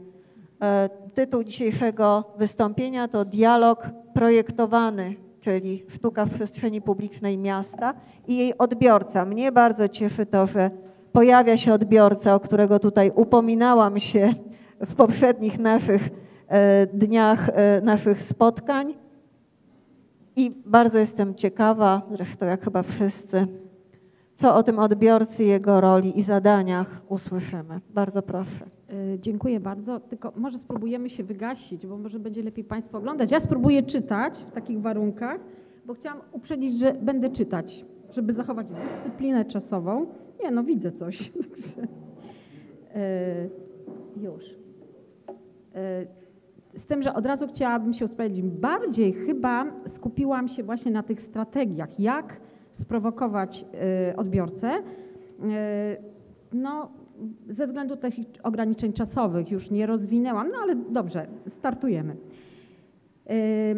Jedną z sekwencji dokumentalnego filmu High Maintenance Baracka Haymana o Danim Karawanie jest krótka rozmowa artysty z przypadkowo spotkaną mieszkanką Sergi Pontoise, przechodzącą przez kładkę dla pieszych nad rzeką Luas, już pokażę, która jest jednym z elementów spektakularnej Wielkiej Osi stanowiącej wizytówkę tego miasta. Kiedy kobieta dowiaduje się, że ma do czynienia z autorem dzieła, nie ukrywa swego entuzjazmu, podziwu i akceptacji, a przede wszystkim dumy, że tutaj mieszka, w mieście, które może pochwalić się tym, cytuję, genialnym projektem, przyciągającym rzesze turystów z całego świata. Ten spontaniczny i niekłamaty zachwyt wywołuje na twarzy sędziwego artysty wyraz bezgranicznego szczęścia i satysfakcji. Karawan zawsze podkreślał, tworzę dla ludzi, cytuję, aby zaprosić ich do się z otoczeniem, tworzywem dzieła, pamięcią i z sobą. Wspomniana Wielka Oś, realizowana od roku 1980, to dzieło, w którym odnajdujemy właśnie te kluczowe przesłanki. Karawan, zaproszony przez urbanistów Michela Jouena i Bertranda Barniera, miał zgodnie z ich intencją stworzyć główny i znaczący element miasta, który nawiązywałby do francuskiej tradycji. Pełna rozmachu oś karawana, rozciągająca się na długość 3 km, składa się z 12 przestrzennych dominant, których usytuowanie i formy wyznaczają odbiorcom drogę, zachęcają do jej przejścia, do aktywnego uczestnictwa w tym przestrzennym krajobrazowym spektaklu. Ale dla y, karawana równie istotne było zaproszenie widzów do dialogu z dziełem, bowiem Aks Majeur to swoisty przestrzenny rebus. Karawan każdą z sekwencji osi wyróżnił dominantą i nazwał, sugerując przechodniom grę w konotacje i odczytywanie ukrytych znaczeń i symboli. Artysta nie oczekiwał, że każdy pokusi się o tego rodzaju interakcję z jego dziełem. Istotne było dla niego zaprojektowanie takiego potencjału. W zależności od determinacji i wnikliwości odbiorcy może on odkryć zamierzoną przez artystę symbolikę dominant stacji. Ich liczba 12 została celowo użyta przez karawana jako miara, moduł i symbol odnoszący się do czasu i jego rytmu, harmonii, doskonałości boskiego porządku. 12 miesięcy, 12 godzin dnia i nocy, 12 plemion Izraela, 12 apostołów i tak dalej. Tych, którzy nie podjęliby wyzwania, aby zagłębić się w tej intelektualnej grze, artysta chciał skłonić do napawania się wszystkimi zmysłami, samymi fizykalnymi walorami dzieła. Osiami widokowymi, różnicami poziomów terenu, harmonijnymi proporcjami struktur, mocnym kolorem konstrukcji mostu, zderzaniem form nieożywionych z organicznymi, zaskakującymi pomysłami, jak choćby fontanną buchającą parą, czy długą smugą laserowego światła, które nocą spina całą oś od szczytu tzw. wieży Belwederu po ostatni element nazwany skrzyżowanie drogi. Aks stała się bez wątpienia wielką atrakcją nowego, utworzonego w 1972 roku Sergi Pontoise i ważnym czynnikiem budującym jego tożsamość, nadała szczególnego znaczenia miastu satelitarnemu, oddalonemu zaledwie 30 km od Paryża. Dani Karawan, uważany za jednego z pionierów publicznej sztuki Site Specific, żadnej ze swoich prac nie traktował jako autonomiczne dzieło sztuki. Zawsze lokował je wybranej z niezwykłym namysłem przestrzeni publicznej, nasycając je treściami historycznymi, humanistycznymi, społecznymi i politycznymi. Liczył na. Przepraszam. tu się już skupiam. Mm, Liczył na spontaniczny odzew, na spontaniczne zachowania użytkowników, traktując je jako nieodzowny komponent swoich prac. Ślizgające się dzieci po gładkich betonowych płaszczyznach białej piramidy Kikarlewana, czyli białego pracu, zaprojektowanego na szczycie wzgórza wznoszącego się nad Tel Awiwem, były dla niego dowodem, że jego praca skutecznie zachęca do takiej bezpośredniej interakcji. Mieszkańcy traktują to dzieło po prostu jako miejsce spotkań, choć Kikar Lewana pomyślany został przede wszystkim jako hołd dla pionierów i twórców tzw. Białego Miasta, którzy zbudowali je w stylu bauhausowskiego modernizmu. Z takim pozytywnym rezonansem niestety nie spotkał się Antony Gormley, który w 1988 roku zaproponował miastu Leeds pracę Brickman, która miała stanowić główny element rewitalizowanego Holbeck Triangle, zaniedbanego i zarośniętego terenu w pobliżu miejskiego dworca. Rada Miasta od dłuższego czasu nosiła się z zamiarem przekształcenia go w park rzeźb. Brickman miał być gigantyczną, ponad 30-metrową ceglaną figurą z drzwiami w jednej z pięt, prowadzącymi do pustego wnętrza, którego mrok rozjaśniałoby światło wpadające z góry przez dwa małe okna umiejscowione w uszach, dając widzom możliwość odniesienia własnych wymiarów do imponującej skali rzeźby. Brickman byłby unikalnym elementem krajobrazu miasta, pierwszą dominantą witającą podróżnych przybywających do Leeds. Byłby także pierwszą największą Wielkiej Brytanii rzeźbą, zanim Gormley zrealizowałby 10 lat później Anioła Północy w Gateshead. Projekt dla Leeds nie został zrealizowany ze względu na bardzo negatywną i agresywną kampanię lokalnej gazety Yorkshire Evening Post, która przekonała opinię publiczną, że jest to nie do przyjęcia, aby publiczne pieniądze wydawać na tak bezsensowny pomysł przypominający King Konga. Chociaż główny argument podnoszony przez gazety nie był prawdą, projekt miał być finansowany z prywatnych funduszy. To jednak większość mieszkańców opowiedziała się przeciwko jego realizacji. Gdyby Brickman został zrealizowany, to właśnie Leeds i Yorkshire przyciągałoby kultowym dziełem ponad milion odwiedzających rocznie, a nie hrabstwo Tain and Ware and Gateshead, nad którym góruje Anioł Północy. Porażka Gormleya w Leeds mogła być o tyle dotkliwa, że nie była jego pierwszym trudnym doświadczeniem w zderzeniu z odbiorcą w przestrzeni publicznej. Rok wcześniej, w 1987 roku, Gormley zrealizował grupę rzeźb. Trzy podwójne, złączone plecami figury odlewy ciała artysty z rozpostartymi ramionami dla północnoirlandzkiego miasta Derry. Zostały usytuowane na murach zbudowanych w końcu XVII wieku przez angielską katolicką armię Jakuba II, usiłującego podbić Irlandię. Lokalna społeczność potraktowała to artystyczne przedsięwzięcie jako prowokacyjne podniesienie kwestii wciąż tlącego się, mimo upływu trzech wieków, konfliktu między katolikami i protestantami. Nie odczytano w tym projekcie pozytywnych intencji, idei pojednania i szansy lepszej koegzystencji podzielonych politycznie i religijnie mieszkańców. Mieszkańców, których chociażby toczony od lat spór w kwestii właściwej nazwy miasta, Londonderry czy Derry, stał się symbolem tych głębokich konfliktów. Londonderry to nazwa wprowadzona przez XVII-wiecznych angielskich osadników, protestantów z Londynu i do dziś uznawana przez rząd brytyjski. Zaś pierwotna nazwa Derry jest wciąż podtrzymywana i forsowana przez katolicką społeczność i ich większość we władzach miasta. Kiedy przystąpiono do postawienia figur Gormleya, ludzie obrzucili kamieniami i butelkami dźwig montujący rzeźby. Jednej z już stojących podwójnych figur zarzucono palącą się oponę na szyję, a innej przymocowano falusa w stanie erekcji. Niemniej artysta, choć początkowo zaskoczony nieoczekiwanymi społecznymi reakcjami, odkrył jednak w nich drzemiący ogromny artystyczny potencjał i intrygujące źródło inspiracji do dalszych swoich projektów w przestrzeni publicznej. Takim właśnie publicznym dziełem, w którym Gormley postawił na partycypację odbiorcy i wręcz uczynił z niej zasadnicze tworzywo, był projekt One and Another. Artysta zaproponował, aby przez okres studni od 6 lipca do 14 października 2009 roku udostępnić zwykłym obywatelom pusty cokół znajdujący się na Trafalgar Square w Londynie. Historia tego pustego postumentu sięga roku 1841, kiedy Charles Berry zaprojektował go podkonny posąg króla Williama IV, który miał dopełnić czwarty narożnik placu i zamknąć całą jego kompozycję wraz z trzema już istniejącymi pomnikami króla Jerzego IV, dwóch zasłużonych generałów, Henry'ego Haverlocka i Charlesa Jamesa Napiera. Niestety z powodu niewystarczających funduszy planowana rzeźba króla Williama nigdy nie stanęła na przygotowanym już cokole. Przez lata debatowano, co z tym pustym miejscem zrobić.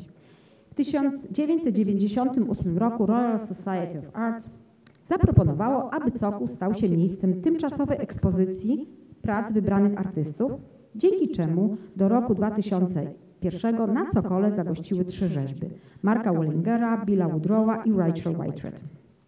Po czteroletniej przerwie w 2005 roku znów, tym razem z inicjatywy władz miasta, powrócono do idei okresowego umieszczania w tym miejscu kolejnych prac.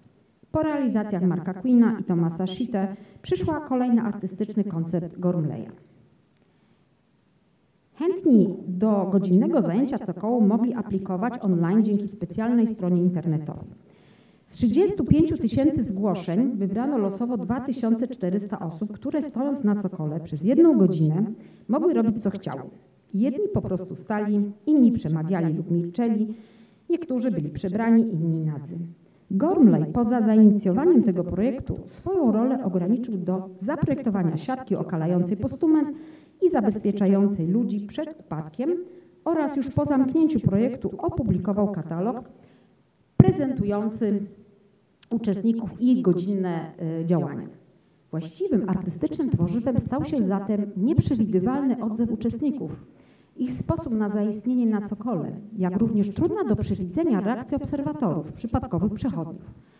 Oddźwięk tego projektu był niezwykły, ponieważ dzięki współpracy z kanałem telewizyjnym Sky Arts transmisję na żywo oglądały miliony widzów i internautów. Zainteresowanie nie słabło nawet po zakończeniu akcji. Jeszcze parę miesięcy odnotowywano dużą ilość wejść na stronę projektu. Dla artysty dwie kwestie miały kluczowe znaczenie. Pierwsza to zdjęcie z przestrzeni Trafalgar Square, mocno zakodowanego w publicznej świadomości wizerunku placu, jako znaczącego miejsca nasyconego wyłącznie historycznymi treściami i symbolami i takie przeorientowanie go, aby stał się przestrzenią otwartą na teraźniejszość i przyszłość. Jak stwierdził Gormley, komentując swój projekt w dziesiątą rocznicę jego realizacji, cytuję, co oznacza cokół? Oznacza to, że wyniesiony wizerunek, który na nim się znajduje, jest przykładem stojącym ponad codziennością, podniesionym wysoko, aby być zasadą moralną lub pomnikiem jakiegoś bohatera.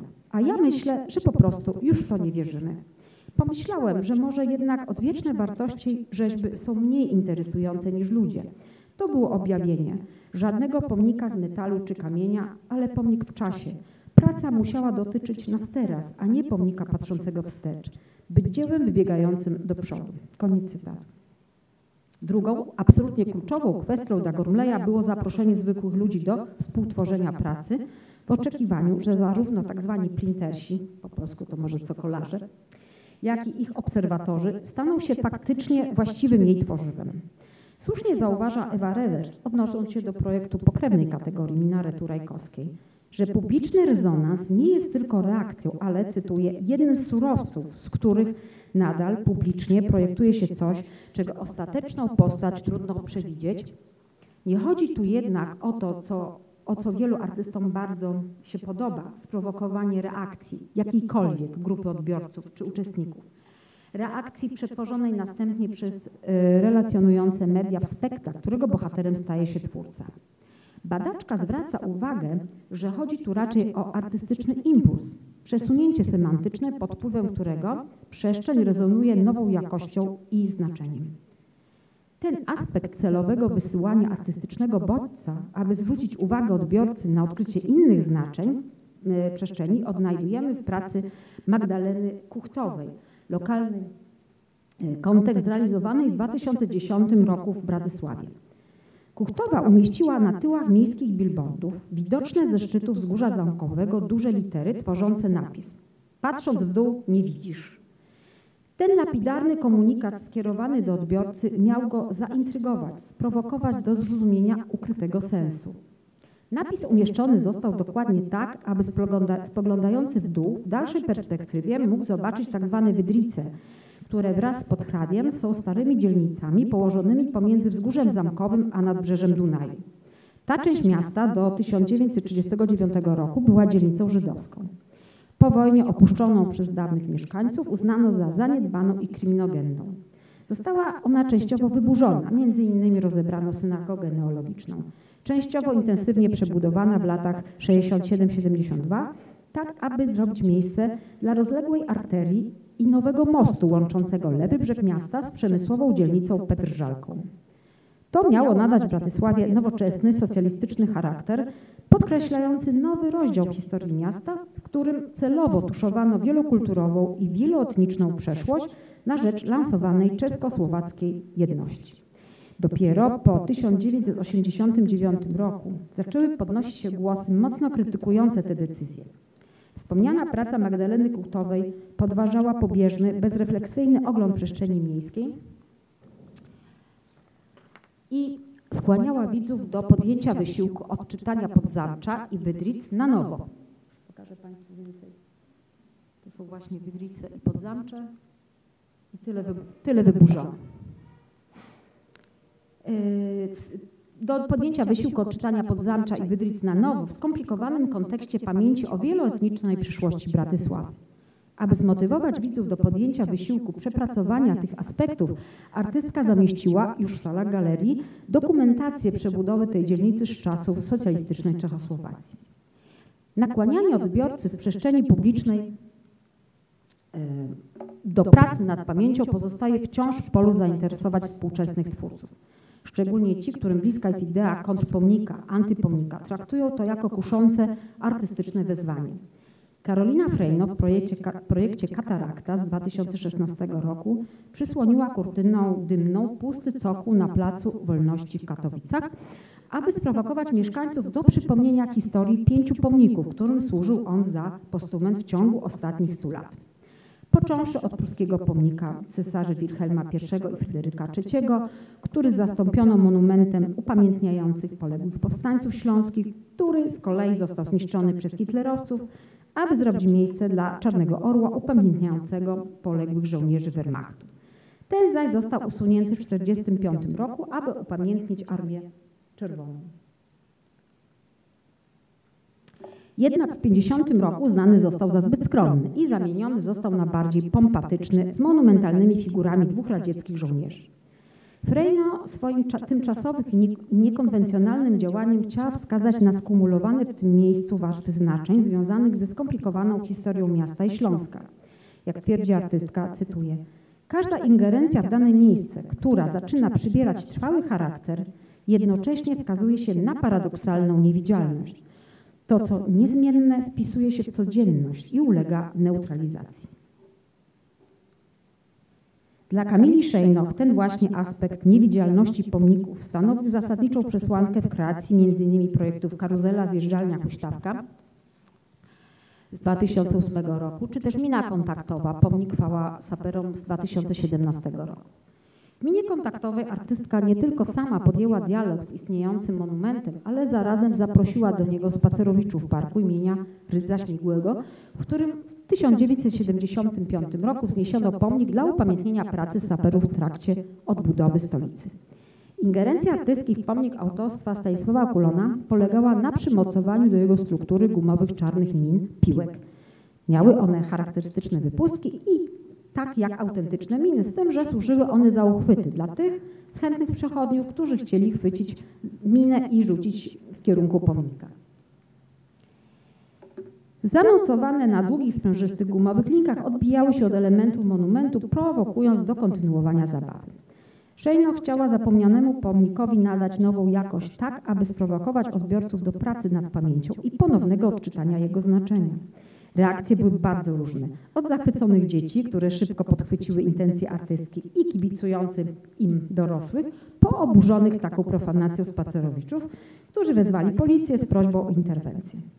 Strategia zabawy była w tym przypadku zamierzona, bo jak twierdzi autorka projektu, cytuję, to pozytywne narzędzie, które można zastosować do animowania przestrzeni, do integracji społecznej, czy nawet radzenia sobie z trudnymi społecznie kwestiami. Koniec cytatu. Diametralnie odwrotną strategię obrała Joanna Rajkowska w antypomniku Sory z 2022, chcąc w widzach, przechodniach wywołać uczucie osaczenia, pułapki i dyskomfortu, aby sprowokować ich do zastanowienia się, jak traktowani są uchodźcy. Artystka chciała odnieść się do dramatycznej sytuacji ludzi uciekających z terenów Afganistanu, Jemenu, Syrii, Iraku i próbujących przekroczyć w sierpniu 2021 roku granice Unii Europejskiej pomiędzy Polską a Białorusią. Wzmożony eksodus uchodźców spowodowany został prowokacyjnymi działaniami władz białoruskich wspierających nielegalny ich yy, przerzut do Unii Europejskiej w odwecie za nałożone unijne sankcje. W odpowiedzi na to polskie władze podjęły decyzję o budowie muru na granicy z Białorusią.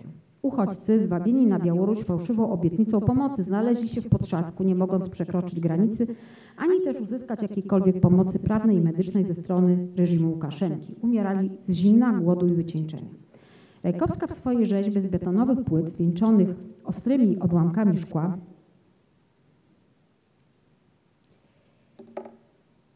Stworzyła mur układający się w, angiel, w angielskie słowo sorry, przepraszam. Odczytanie go nie jest jednak możliwe dla przechodnia, któremu przede wszystkim jawi się jako abstrakcyjna i opresyjna forma. To, że układa się ona w litery jest widoczne wyłącznie z góry, jak twierdzi artystka z pozycji wiedzy i władzy.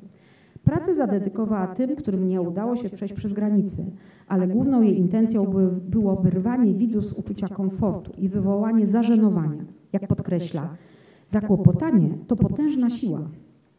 Chociaż inwazja Rosji na Ukrainę w lutym tego roku wzbudziła niezwykłą empatię, która przyrodziła się wielki społeczny zryw niesienia pomocy ukraińskim uchodźcom, to stanowisko rządu wobec sytuacji na granicy polsko-białoruskiej nie uległo zmianie, co dla Rajkowskiej jest sytuacją haniebną. Cytuję. Uchodźcy, jak mówi, zostali podzieleni na lepszych i gorszych, bardziej i mniej zasługujących na współczucie i pomoc. Nieodmiennie, według rasistowskiego klucza. Koniec cytatu. Antypomnik Sory, choć pierwotnie zrealizowany na rondzie Kaponiera w Poznaniu, ma zmieniać swoją lokalizację i stanąć w Warszawie, następnie we Wrocławiu i w Berlinie. Przenoszenie pracy, nie osadzanie jej w jednym stałym miejscu może nadać jej istotny i wspomagający siłę rażenia potencjał. Za każdym razem w nowym kontekście przestrzennym będzie tworzyć inną sytuację, zderzać się z innym odbiorcą. Przepraszam. Mm, A, już. I podejmować nowy dialog. Nie zostanie niebezpiecznie zbyt oswojona, w tym samym niewidzialna, co często spotyka zwłaszcza tradycyjne pomniki. Choć bywa, że to właśnie oswojenie się z dziełem w przestrzeni publicznej przynosi nieoczekiwane efekty.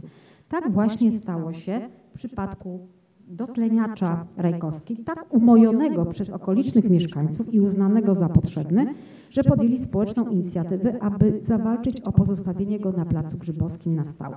Choć starania nie powiodły się, to mimo tego dotleniacz podważył odczytywanie placu jako miejsca o złej aurze. Rajkowskiej udało się zmotywować ludzi do przepracowania trudnej pamięci o placu, który w czasie niemieckiej okupacji był częścią warszawskiego getta, tak aby stał się bardziej pozytywnie odbieraną przestrzenią. Chociaż, jak zwraca uwagę Zuzanna Berendt, głębsza analiza tego projektu odmitologizowuje go i pozwala dostrzec jego bardziej złożone drugie dno, jako katalizatora ukrytych antagonizmów okolicznej społeczności. Berendt powołuje się na film dokumentujący powstanie dotleniacza. Już w trakcie jego budowy pojawiły się pierwsze kontrowers- kontrowersje, że jest albo za blisko kościoła, albo za blisko, za blisko synagogi. Już działające, ozonujące jeziorko, jak określano sadzawkę w miejscowym slangu, wywołało drobne animozje pomiędzy użytkownikami o lepsze miejsce do siedzenia. Niezwykle istotne były obserwacje ochroniarza, czuwającego nad tym miejscem, który szybko uchwycił zaistniałe podziały e, wśród mieszkańców na spolaryzowane światopoglądowo ławki liberałów i bogoojczyźnianych, czy też samozwańczych kontrolerów porządku, przeganiających wielbicieli piwa i rozrabiające psy. Dla Berendt projekt Rajkowskiej jest zatem znakomitą egzemplifikacją teorii antagonizmu Ernesto Laclau i Chantal Mouffe. Oboje badacze zwracają uwagę, że nie ma neutralnego odbiorcy w sferze publicznej. Jest ona nieustannie poddawana negocjacjom pomiędzy będącymi w sporze jej użytkownikami. Do- Dotleniacz zatem, choć był współdzielonym, wspólnym miejscem, to nie był przestrzenią wolną od napięć, rywalizacji i konfrontacji. Z równie niełatwą, nasyconą dysonansami przestrzenią musieli skonfrontować się twórcy tzw. krzeseł na krakowskim placu bohaterów getta, czyli Umschlagplacu, skąd wywożono Żydów do obozów zagłady. Stanęli przed trudnym zadaniem zarówno upamiętnienia, upamiętnienia tego miejsca, jak i stworzenia normalnej przestrzeni do życia. Cytuję, chcieliśmy w naszej pracy, przyznają autorzy Piotr Lewicki i Kazimierz Łatak, uciec od dosłowności, która nie jest w stanie oddać rzeczywiste grozy faktów z przeszłości. Pamiętaliśmy nie tylko o tych, co zginęli, ale także o tych, którzy codziennie rano otwierają okno i patrzą na plac, czy o tych, którzy korzystają z niego w dzień powszedni. Koniec cytatu. Wybrali motyw krzeseł, nawiązując do wspomnień świadka Tadeusza Pankiewicza, właściciela pobliskiej apteki oraz archiwalnych zdjęć i kronik niemieckich. Z rozmieszczonych na całym placu 68 krzeseł 33 to rzeźby,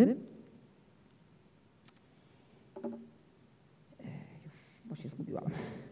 Reszta została zaprojektowana jako normalne siedziska dla mieszkańców, przypadkowych przechodniów, turystów, jak również oczekujących na tramwaj. Choć rzeźby otrzymały lekko przeskalowane formy krzeseł i zostały umieszczone na niewysokich, żeliwnych podstawach, wznosząc się tylko nieco ponad poziom nawierzchni, to odwiedzający to miejsce nie obawiają się przysiąść na nich choćby na chwilę.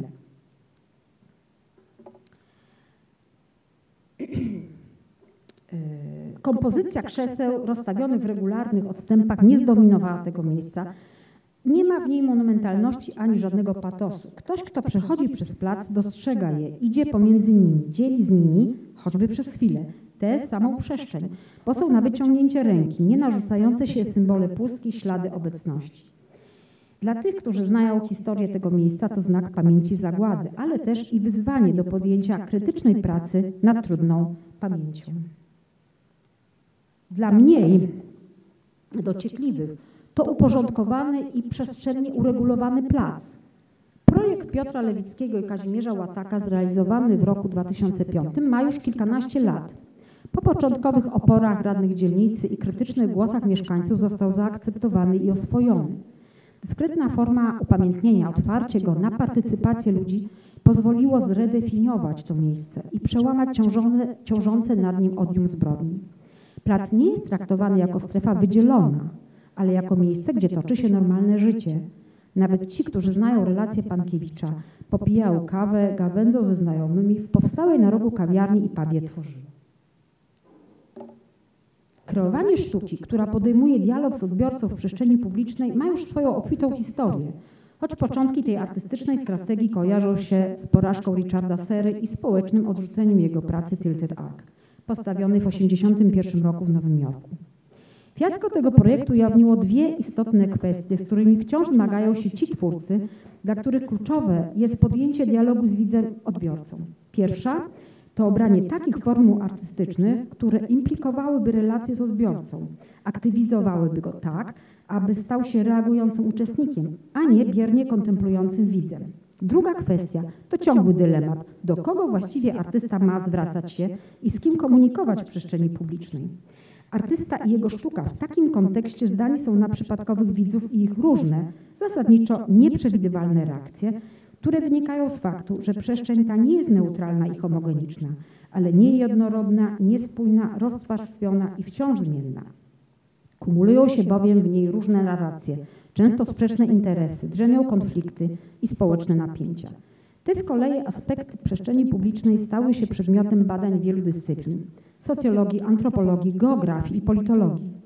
Postrzeganie tego rodzaju sztuki w tak szerokim badawczym spektrum ujawniło jej niezwykły pozaartystyczny potencjał, w którym to właśnie szczególnie artyści znajdują motywującą siłę i źródło inspiracji dla artystycznych działań aspirujących do bycia głosem w sprawie. Dziękuję.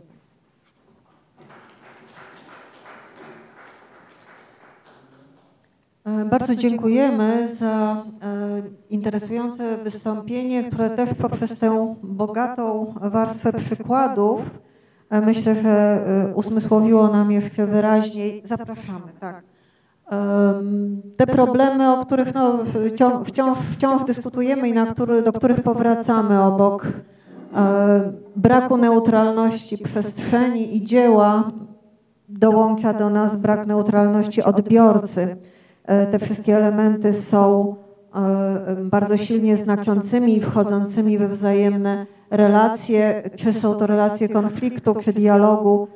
E, O tym będziemy dyskutować. Ta pozycja artysty, to co pani doktor też tutaj podkreśliła, jest też o tyle interesująca, że ten artysta, który chce wchodzić w dialog e, i oddaje część pola e, odbiorcom, bardzo często wręcz usuwa się z tego pola sztuki. To też taka specyfika działań w przestrzeni publicznej, że czasem zastanawiamy się bardzo poważnie, czy są to jeszcze działania, które możemy nazwać e, sztuką, jakie jest w nich miejsce artysty, e, jakie jest w nich miejsce dzieła, które bardzo często w ogóle znika. Zapraszam e, kolejnego e, prelegenta.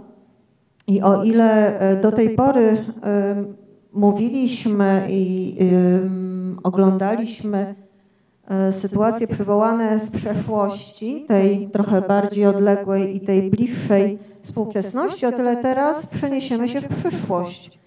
E, Zastanowimy się nad e, przestrzenią i sztuką w przestrzeni, która jest wyzwaniem dla nas, wyzwaniem dnia jutrzejszego. Zapraszam na profesora Rafała Wiśniewskiego, socjologa kultury. To jest właśnie ta chyba bardzo cenna, cenny punkt widzenia, z którego dzisiaj e, korzystamy, ale również menadżera kultury i dyrektora Narodowego Centrum Kultury, a więc e, człowieka, który w sposób bardzo praktyczny e, zajmuje się kulturą, jej miejscem w przestrzeni realnej i w tej przestrzeni społecznej. Bardzo proszę, oddaję głos. Dziękuję Pani Profesor, dziękuję za zaproszenie.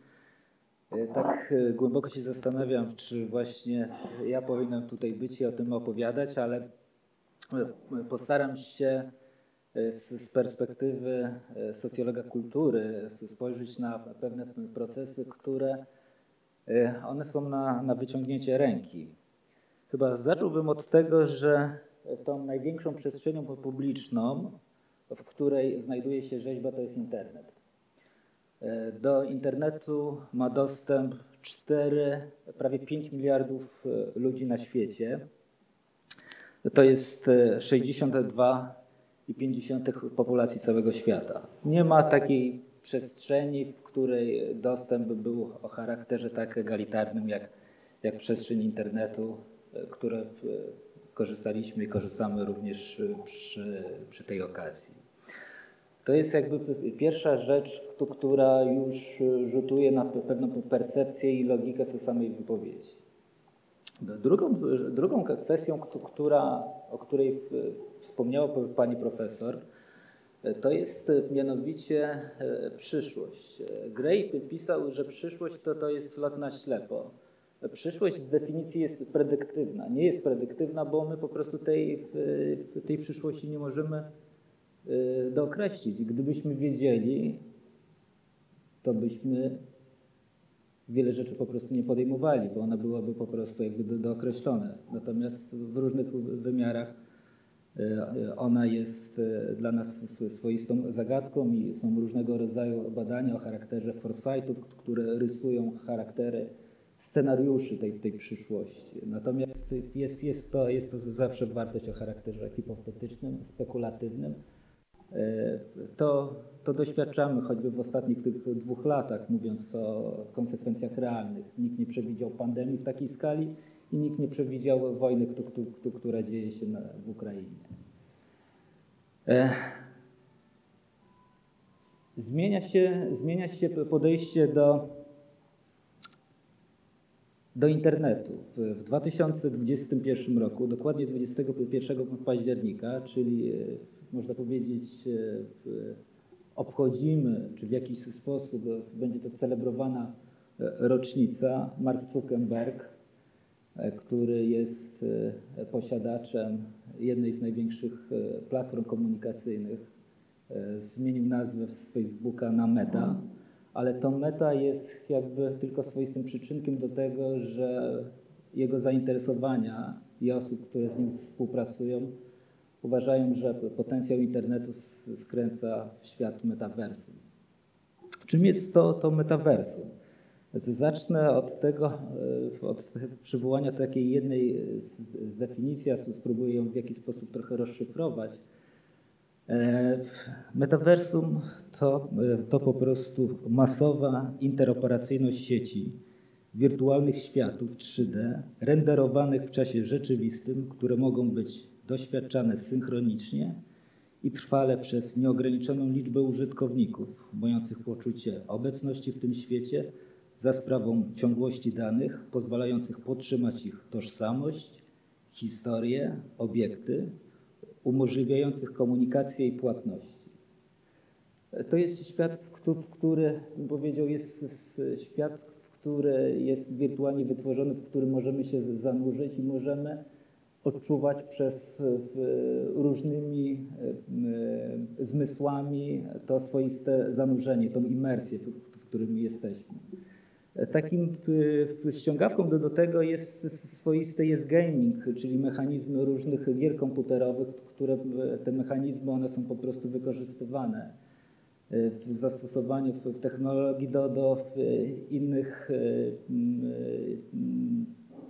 innych obszarów. Y, Czy to jest, czy to jest y, nawet nie wiem chyba od którego trze- trzeba było zacząć. Byłem to teraz w zeszłym tygodniu w, w Berlinie w weekend i obserwowałem wycieczkę, akurat się, tak się gdzieś przecięły nasze, nasze losy, że w, osoba, która oprowadzała, zatrzymywała się przy pewnym miejscu, ci ludzie zakładali specjalne gogle i dzięki tym goglom mogli po prostu jakby doświadczać różnego rodzaju obiektów, przedmiotów, również tych elementów, które one e, fizycznie nie funkcjonowały. Ale ktoś by powiedział, e, no, to, to coś się dzieje, ale co to jest? No i tutaj jest, to jest e, generalny problem z tym, dlatego że duże firmy, nie tylko Zuckerberg, ale również Microsoft, Chińczycy, jest ponad 160 bardzo dużych globalnych firm, które włączyły się w, w pracę nad, e, nad rozwojem metaversum, jakby w różnych e, poziomach i przy różnym wykorzystaniu oczywiście to, to ma charakter stricte praktyczny. Żeby powiedzieć e, skalę, któ- która jest wartością socjoekonomiczną, w 2021 roku szacowana wartość te, tego obszaru to 39 miliardów dolarów. Rok później, w 2022 roku, to jest przeszło 47 miliardów e, dolarów. To znaczy w ciągu roku, jak widzimy, jest e, bardzo duży przyrost samej wartości te- tego obszaru, który jest wytwarzany. Ale e, sprawa, sprawa e, jest o tyle jest nowa, o tyle, że ten wiek XX, o którym tutaj warto wspomnieć, zmienia całą percepcję do, do technologii. Jeśli dobrze pa- pamiętam, jeden z szefów IBM, który pod koniec lat, y, na przełomie lat 40. i 50., zapytany, ile będzie komputerów na świecie, on powiedział, że będzie 100. No chyba trochę się mylił, bo, bo jak, jak dobrze wiemy, te, wartości są zdecydowanie inne.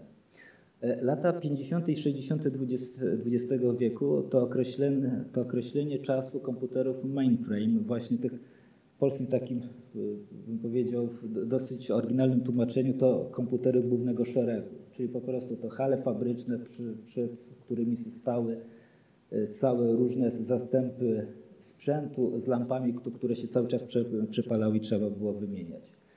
Lata 80. to lata PC, czyli komputera osobistego, lata e, wiek XXI to wiek urządzeń mobilnych i współcześnie to, to metaversum, któ- które, którego wynik jeszcze nie znamy. Jeszcze takim bym powiedział swoistą klamrą jest, że w zeszłym roku w Polsce obchodziliśmy 30-lecie polskiego internetu. Te osoby, któ- które pamiętają, jak ten pierwszy internet funkcjonował, że trzeba wyciągnąć było kabel z, z telefonu, trzeba było podłączyć do komputera, to taki specjalny pisk, który nawet zastanawiałem się, żeby ten pisk tutaj y, przybliżyć, bo on jednak, on pokazuje, to trochę ma charakter imersyjny, jednak się trochę zanurzamy, przynajmniej te osoby, które te, tego, tego doświadczały. Y, Młodsze pokolenie no, y, byłoby trochę zaskoczone, a może w kategoriach ciekawej anegdoty czy historii po prostu do tego, do tego sięgnąć. I te 5, prawie 5 miliardów ludzi to jest chyba największa e, przestrzeń, e, największy internet jest największą tą przestrzenią publiczną, w której rzeźba, również rzeźba dla niepodległej ma po prostu ze swoje miejsce. Każdy, niezależnie od płci, wieku, wykształcenia, raczej w, w, przy ograniczonych y, możliwościach geograficznych, no bo tutaj te też mamy różnego rodzaju asymetrię, raczej jest ta przestrzeń, któ- która jest możliwa do, do spenetrowania. Ale to jest, to jest coś, o czym się mówi, co, coś, co się zmienia i coś, czego po prostu na razie, na razie tego nie widzimy, więc trudno po prostu pokazać to ani to w prezentacji, to bardziej zachęcam Państwa, żeby skorzystać z chyba z takich podstawowych e, gogli VR-owskich, żeby doświadczyć tej swoistej imersji i zmienia się perspektywa do określenia rzeźby. Ale zanim, zanim to się stało, to trzeba powiedzieć kilka słów. Od lat 90. obserwujemy rozwój mediów cyfrowego na skalę niespotykaną, o której tutaj mówiliśmy. Chociaż wiele technologii cyfrowych swoimi początkami sięga lat 50. i 60. XX wieku. Ich masowe rozpowszechnienie możemy obserwować współcześnie. Artyści zawsze byli jednymi z pierwszych, którzy zastanawiali się nad kulturą i technologią swoich czasów, a dekadę przed oficjalnym ogłoszeniem rewolucji cyfrowej eksperymentowali z medium cyfrowym. Początkowo funkcjonowali na peryferiach świata sztuki i dopiero pod koniec ubiegłego wieku sztuka cyfrowa znalazła swoją instytucjonalną legitymizację, gdy muzea i galerie na całym świecie zaczęły kolekcjonować jej wytwory i urządzały wystawy. Ja w, w, zachęcam również jakby w tym kontekście wpisać e, w rok 2020, który ze względu na izolację społeczną on wytworzył o ludzi którzy, ludzi sztuki, artystów, ale również tych, którzy prezentują muzealników, galerników, żeby szukać tej przestrzeni właśnie internetu do realizacji tych działań. Pojęcie sztuki cyfrowej zawsze było płynne i przez dziesięciolecia ulegało wielokrotnym zmianom. Cały czas jest ten etap próby definiowania i cały czas pojawiają się jakby nowe elementy. Początkowo od lat 60. do 90. XX wieku sztuka cyfrowa określana była po prostu sztuki jako sztuka komputerowa, computer art. Następnie jako sztuki multimedialnej, multimedia art i w końcu cybersztuki, cyberart. Obecnie pojęcie sztuka cyfrowa stosuje się zamiennie z pojęciem sztuka nowych mediów, która pod koniec XX wieku używana była głównie w odniesieniu do filmów, wideo, sound art – oraz innych form hybrydowych. Oczywiście w tym przypadku problematyczne wydaje się znaczenie słowo nowe. Wszystko co nowe zaraz ulega swoistej erozji w odniesieniu do medium cyfrowego, bo niektóre koncepcje były znane niemal od początku XX wieku, a wiele z nich było obecne już w sztukach tradycyjnych. Nowością jest to, że technologia cyfrowa osiągnęła obecnie taki etap rozwoju, że oferuje zupełnie nowe możliwości tworzenia i doświadczenia sztuki i tutaj właśnie jest tą przestrzenią, jest metaversum. Nawet jakbyśmy chcieli od tego uciekać, metaversum po prostu nas wchłonie to, co stało się po prostu z telefonem komórkowym. Czy mamy osoby, które są na sali, które nie korzystają z telefonu komórkowego?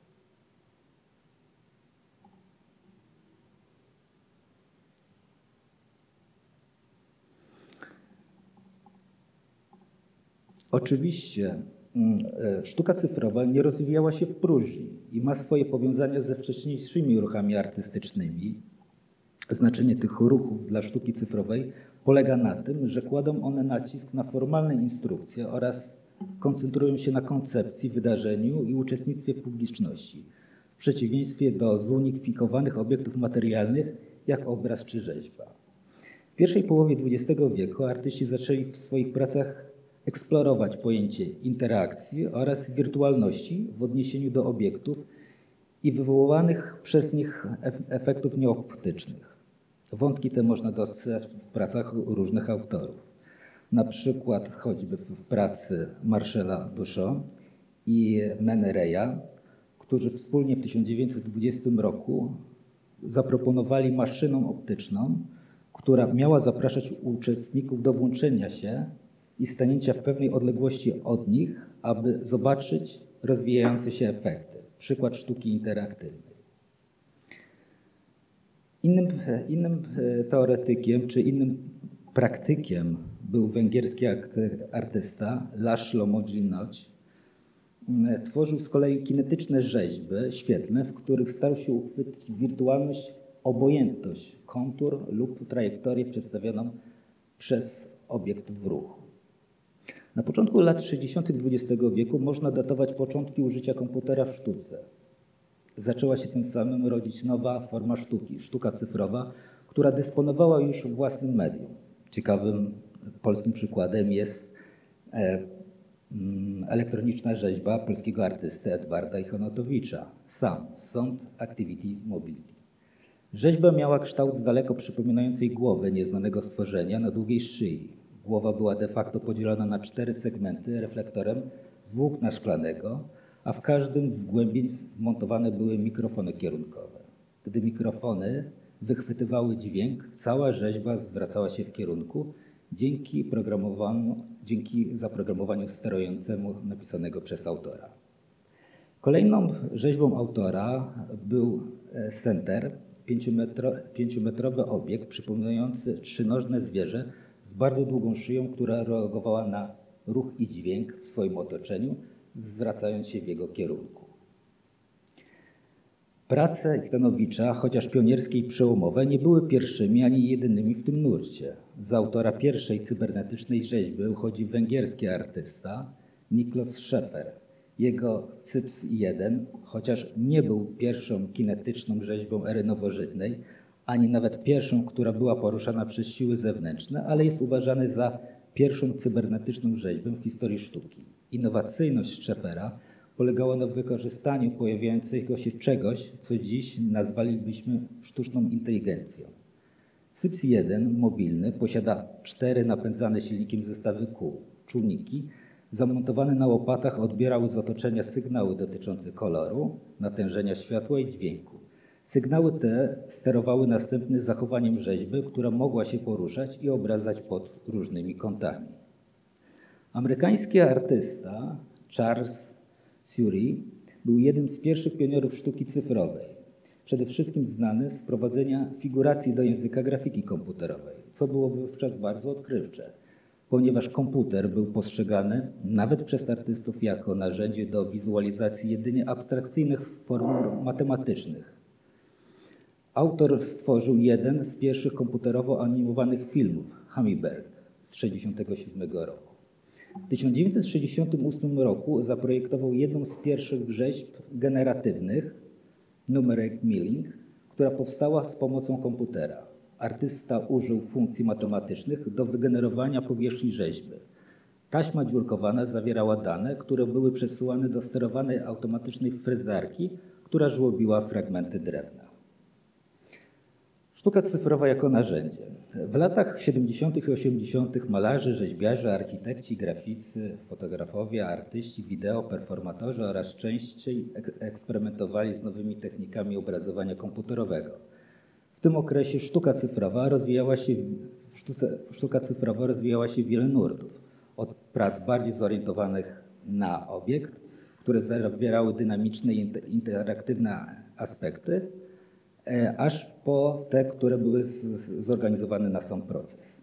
Jedno z ważniejszych rozróżnień, jakie można było zrobić w ramach sztuki cyfrowej, dotyczyły podziału na sztukę cyfrową wykorzystującą nową technologię cyfrową jako narzędzie do tworzenia bardziej tradycyjnych obiektów artystycznych, takich jak fotografia, grafika, rzeźba oraz na sztukę cyfrową, nazywana też sztuką nowych medium, która jest tworzona, przechowywana i rozpowszechniana za pomocą technologii cyfrowej i wykorzystuje ich cechy jako własne medium. Oczywiście obszary te w praktyce się przenikają. Technologie cyfrowe są również coraz bardziej wykorzystywane na różnych etapach tworzenia i produkcji obiektów rzeźbiarskich, począwszy od oprogramowania modelującego, skończywszy na maszynach produkcyjnych. Podczas gdy niektórzy rzeźbiarze wykorzystują te technologie zarówno w początkowym procesie projektowania, jak i produkcji obiektów fizycznych. Inni tworzą rzeźby, które istnieją wyłącznie w sferze wirtualnej i mogą mieć formułę CAD lub animacji cyfrowej. Istnieją różne rodzaje sterowania komputerowego maszyn produkcyjnych, które umożliwiają produkcję obiektów fizycznych i wydruków trójwymiarowych. Obiekty trójwymiarowe powstają dzięki technologii zwanej potocznej rapid prototyping, która automatyzuje wytwarzanie prototypu z modelu CAD, na przykład poprzez wyrzeźbienie obiektu z bloku materiału lub zbudowanie go poprzez wytwarzaną warstwę po warstwie. Szybkie prototypowanie jest również często wykorzystywane do tworzenia formy do odlewu rzeźby. Przykładem takiego wykorzystania technologii są prace nowozelandzkiego amerykańskiego artysty Brita Bankleya. Wykorzystuje on szybkie prototypowanie i wydruki 3D, co nie tylko pomaga tworzyć wielkoskalowe rzeźby czy instalacje, ale przede wszystkim przedstawić obiekty, które nie zostały lub nie mogły zostać zbudowane, obrazy niemożliwe. Nowe narzędzia do modelowania i wytwarzania zmieniły konstrukcję i postrzegania doświadczenia trójwymiarowego oraz poszerzyły możliwość twórcze rzeźbiarzy. Media cyfrowe przekładają pojęcie przestrzeni trójwymiarowej na sferę wirtualną i tym samym otwierają wymiary relacji między formą, objętością i przestrzenią. Stałość, która była główną cechą rzeźby, nie jest już konieczną cechą definiującą, przynajmniej w internecie. Transpozycyjny aspekt wi- wirtualnego środowiska zmienia tradycyjne sposoby doświadczenia, które były definiowane przez grawitację, skalę, materiał itd. Operacja skalowania, przesunięcia proporcjonalnego, ekscentryczne punkty widzenia, procesy morfingu i montaż 3D to niektóre techniki stosowane w sferze rzeźby wirtualnej. Podczas gdy niektóre obiekty wytworzone cyfrowo nie wskazują charakterystycznych cech medium i mogły powstać w sposób tradycyjny. Inne od razu wskazują na proces ich powstawania. Przykładowo rzeźba Skulls z 2000 roku amerykańskiego artysty Roberta Lazaniego nie mogłaby powstać bez cyfrowej technologii. Lazarani jest najbardziej znany z tworzenia zwykłych przedmiotów, które zostały poddane złożonym zniekształceniom, których efektem jest pomieszanie przestrzeni wizualnej i dotykowej, a raczej skomplikowanie przestrzeni obrazów i przestrzeni rzeczy. Praca Skulls nawiązuje do słynnego obrazu Ambasadorowie z 1533 roku, na którym na pierwszym planie widnieje zniekształcona anamorficznie ludzka czaszka, widoczna dla widza tylko pod pewnym kątem. Lazarani zeskanował laserową prawdziwą ludzką czaszkę, by stworzyć trójwymiarowy plik CAD, który następnie podał różnym zniekształceniom. Powstały w ten sposób zniekształcone pliki, stały się modelami dla czterech rzeźb oddalonych, odlanych z litej kości. Czaszki posiadają zniekształcone perspektywiczne, które jednak nigdy nie przemieniają się w trójwymiarowe obiekty, jak to się dzieje z czaszką na obrazie e, w, w obrazu ambasadorowie, e, gdy się na niego spojrzy z odpowiedniej perspektywy. Podobne kwestie w swoich pracach porusza niemiecka artystka Karin Zanda w serii Person 1 to 10. Miniatu- Miniaturowe rzeźby e, są portretami ludzi w skali 1 do 10. Proces ich tworzenia jest wieloetapowy, a rozpoczyna go dokładny skan ludzkiego ciała wykonany w technologii 3D. Otrzymany plik jest następnie wytwarzany jako trójwymiarowy obiekt z tworzywa sztucznego, a na koniec malowany awrogenem. Artystka nie uczestniczy w produkcji obiektu, nie reżyseruje i nie ustawia osób w odpowiednich pozach do skanowania. Sander nie pracuje w żadnym momencie, nie pracuje też z fizycznymi materiałami. Choć końcowy obiekt wydaje się być tradycyjną rzeźbą, to jednocześnie kwestionuje on samo pojęcie rzeźby. Proces pracy Sander jest przykładem koncepcji teleprodukcji, cyfrowego teleportowania form, które mogą być odtwarzane w innym miejscu. W 2013 roku w nowojorskim Museum Art of Design odbyła się wystawa Out of Hand Materializing the Post Digital, która prezentowała pracę artystów wykorzystujących zaawansowane metody produkcji i cyfrowego wytwarzania.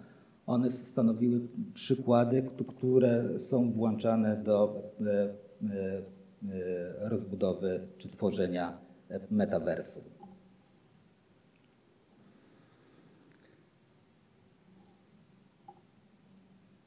Rzeźba w rozszerzonej i wirtualnej rzeczywistości. Termin wirtualna rzeczywistość VR jest powszechnie używany w odniesieniu do każdej przez, przestrzeni stworzonej przez komputery lub dostępnej za ich pośrednictwem od trójwymiarowego świata gry do internetu jako si- sieciowej przestrzeni komunikacyjnej. Wraz z rozwojem gamingu, gdzie graficy komputerowi muszą tworzyć trójwymiarowe obiekty, rozwinęły się również narzędzia programistyczne pozwalające na modelowanie trójwymiarowych obiektów i postaci. Pozwala to również artystom na projektowanie swoich rzeźb przy użyciu komputerów, a następnie ich druk. Jednym z artystów wspierają, wspierających tego typu narzędziami jest szwajcarski artysta Ivo Meyer, który drukuje swoje prace przy pomocy drukarki 3D. Jednak jednym z najbardziej znanych artystów tworzących w przestrzeni wirtualnej jest Chińczyk Miao Xiajian. Jest on autorem monumentalnej rzeźby animacji The Last Judgment Cyberspace z 2000, 2006 roku, która jest monochromatyczną, trójwymiarową przeróbką sądu ostatecznego Michała Anioła z kaplicy sekstyńskiej, gdzie wszystkie postacie mają twarz chińskiego artysty. Artyści eksperymentują również z pogłębioną rzeczywistością AR, technologią pozwalającą doświadczyć wirtualnego obrazu jako warstwy nałożonej na fizyczne lokalizacje za pośrednictwem prywatnych urządzeń mobilnych. I to, to jest, to jest ta, e, ten przykład tej wycieczki, któ- która właśnie może po prostu tego doświadczać. Pierwszą rzeźbą AR stworzył australijski artysta polskiego pochodzenia Jeffrey Shaw. Praca The Golden Calf z, e, z 1994 roku składa się z postmonumentu i kolorowego ekranu, na którym wyświetlana jest wirtualna rzeźba Złotego Cielca.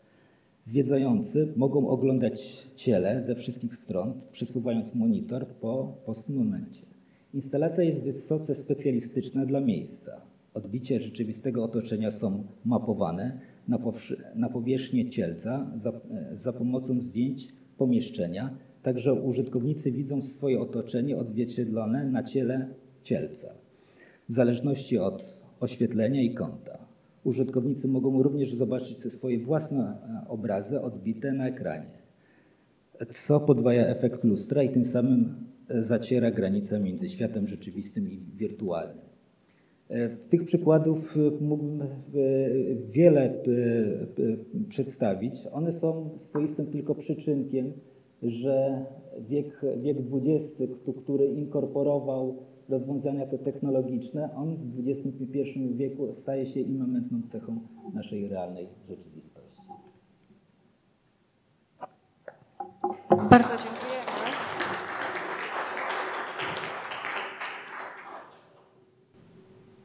Dobrze, to ja. y, Panie dyrektorze, zapraszamy do stołu prezydialnego. Ja nie, niestety nie jestem w stanie się zorientować, kto gdzie ma przypisane swoje miejsce. Jeśli uda nam się usiąść zgodnie z karteczkami, to będzie to pewnego rodzaju sukces. E, Dziękuję bardzo za ten e, ostatni referat, który przeniósł nas, no właśnie, w przyszłość, wydawałoby się dość daleką i odległą, ale chyba niekoniecznie. I jeszcze dodatkowo rozszerzył nam e, pole e, definicji przestrzeni publicznej. Pan dyrektor prosił o głos, więc oddaję mikrofon.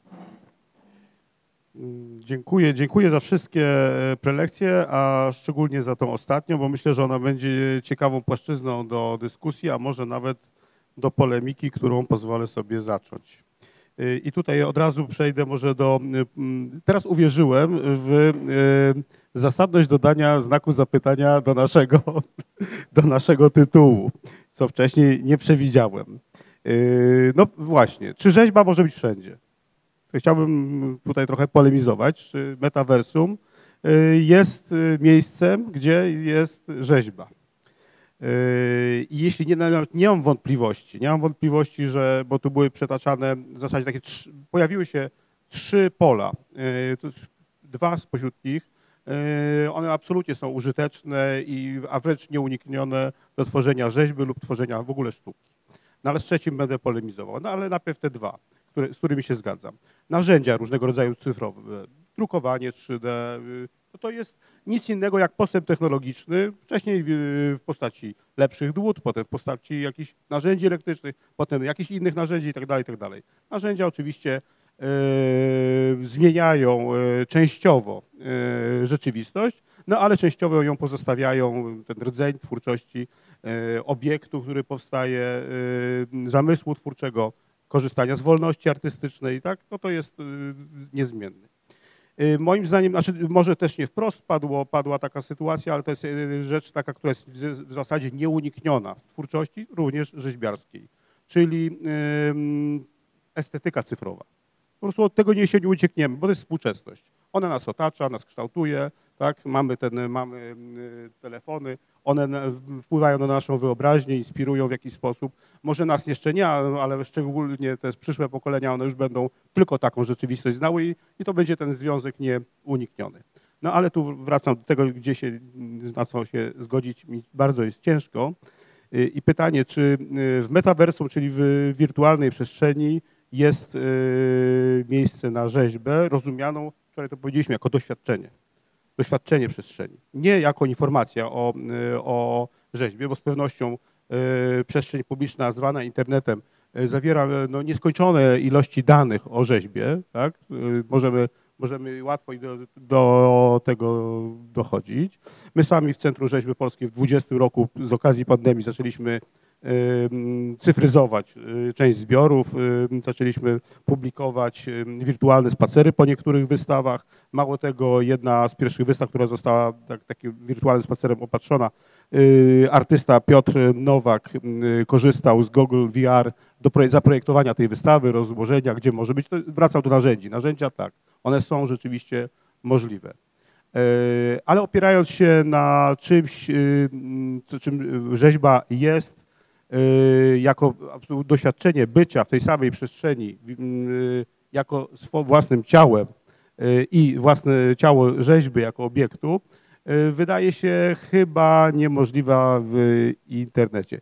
Mimo to, że jest jeszcze może czwarte pole, że rzeźba od zawsze korzysta i dostarcza sz- szeregu metafor, tak? bo rzeźba jest wszędzie, jako na przykład możemy powiedzieć, nie wiem, no, mon- monumentalne wykonanie symfonii. Tak? Od, od, od, odwołujemy się do czegoś rzeźbiarskiego, albo rzeźbić jako proces, który jest jakiś trudny, albo czasami skazany nawet na niepowodzenie, tak? często używamy. Także ta rzeźba też będzie wpływać na tą cyfrową rzeczywistość. To już tyle zostawiam i właśnie chciałbym no może też Państwa za, zachęcić do, do zabierania głosu w sprawie metaversum i rzeźby.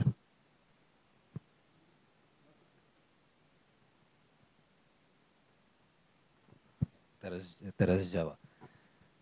Y, To jest, słowem kluczem jest imersyjność. E, To, to, jest, e, to jest rodzaj doświadczenia, które w, w, badaniach psychologów czy e, kognis, kognitywistów e, wskazują, że ja tutaj się posłużę tymi badaniami. Mm. Także w czasie interakcji z innymi osobami w metaversum nasz mózg zachowuje się dokładnie tak samo, jak w czasie interakcji, interakcji w realnym świecie. Ponadto przebywanie w świecie wirtualnym pozwala wywołać emocje nie tylko te podstawowe jak radość, smutek, znudzenie, złość czy lęk, ale też złożone takie jak poczucie grozy czy wdzięczność. Raczej to jest, to jest tak, to w, w, w, Teraz są już projektowane takie mniej czy bardziej udolne rękawice, których można po prostu odczuwać.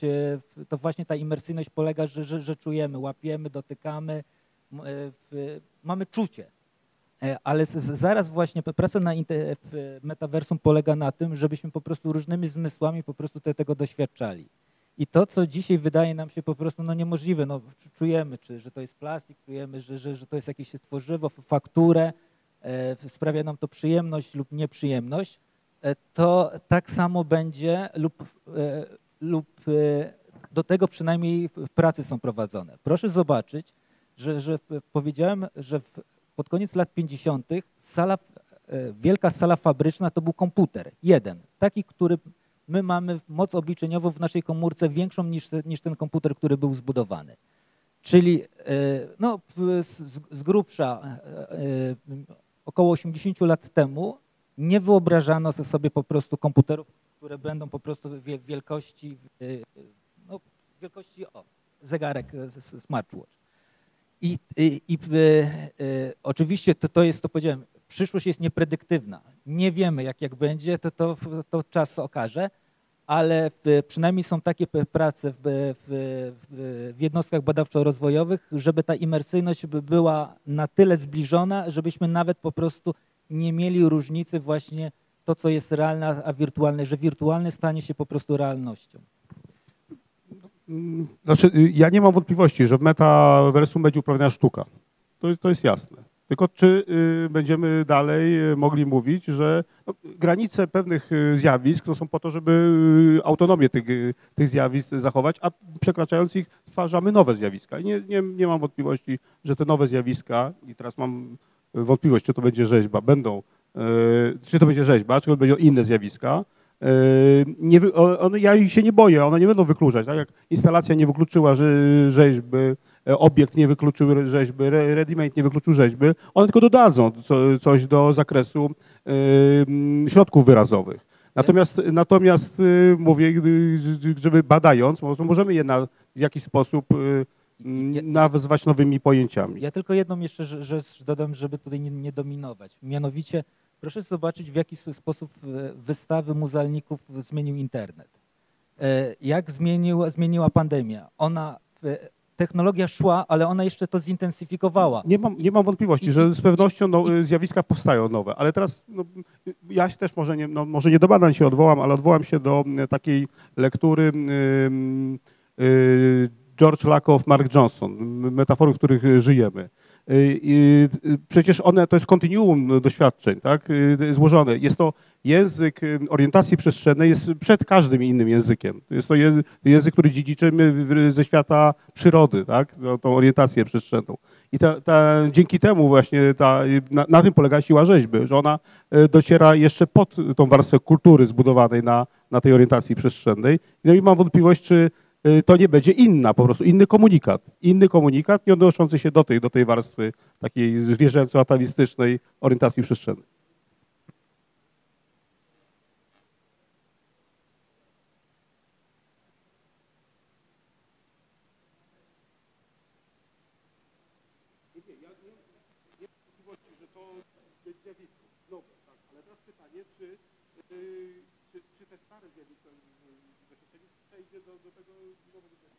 Ja już oddaję e, mikrofon najpierw tutaj, później tam.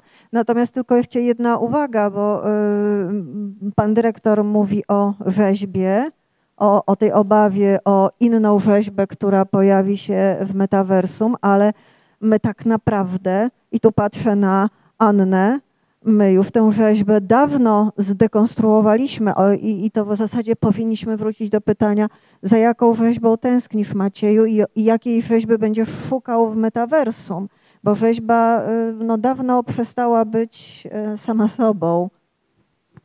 Szanowni Państwo, nie stawiam granic pojęciu rzeźba.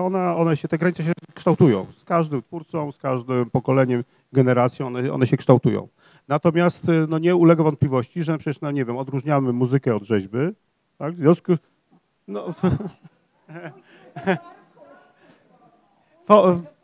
nie, nie, nie. y, y, Może, no dobrze, może, może nie. Możemy dyskutować o sytuacjach granicznych, hybrydowych. One, one są ciekawe, bardzo ciekawe, bo zresztą one, one nas uczą o pojemności pewnych mediów. Y, Nie, i to, i to jest y, penetrowanie tych, tych, y, tych y, pograniczy i przekraczanie granic jest absolutnie czymś twórczym, naturalnym. Mm, No ale mi chodzi o to, czy i, i wprowadzając nowe, nie zacieramy starych. To, to jest, to jest ta, ta, ta rzecz. Natomiast, natomiast pytanie jest, znaczy to jest bardzo na przykład pokrewne pytanie na przykład też o postsztukę, tak? Czy y, mm, działalność społeczna uprawiana przez artystę powinna, po prostu mówię o pokrewieństwie, tak? Łatwiej mi przez taką analogię to opowiedzieć. Y, Czy zawsze musi być nazywana sztuką? Zresztą to dzisiaj też padło na którymś. Być może musi, ale być może nie. Artysta jest obywatelem, zajmuje się na przykład ekologią i, i robi to samo, co inny obywatel. To jest taka analogia. Ja tutaj nie mam wątpliwości, że, że rzeźba może być w internecie, może być cyfrowa, bo interakcje społeczne przeszły do internetu. No przecież e, kto sobie wyobrażał, że można z komputerem gadać i z komputer, w komputer, e, zakochiwać się, e, umawiać się na randki, a nawet uprawiać seks z komputerem, więc to jest właśnie seksualność przeszła do, do internetu e, i to jest normalna sprawa. No właściwie można na, nawet e, płacić za seks e, w internecie. I no, rzeźba, jak i sztuka jest definiowana społecznie, więc to- co, to, co na, nazwiemy. No tak, ale y, nowe media, okej, ale to dla, dla młodego pokolenia y, Facebook nie jest nowym medium, to jest część rzeczywistości. I, y, no i, i py- pytanie, czy jeżeli weźmiemy środki halucynogenne, czy, czy obcujemy z rzeźbą, obcujemy z przestrzenią? No obcujemy, no. Tak mi się wydaje, no.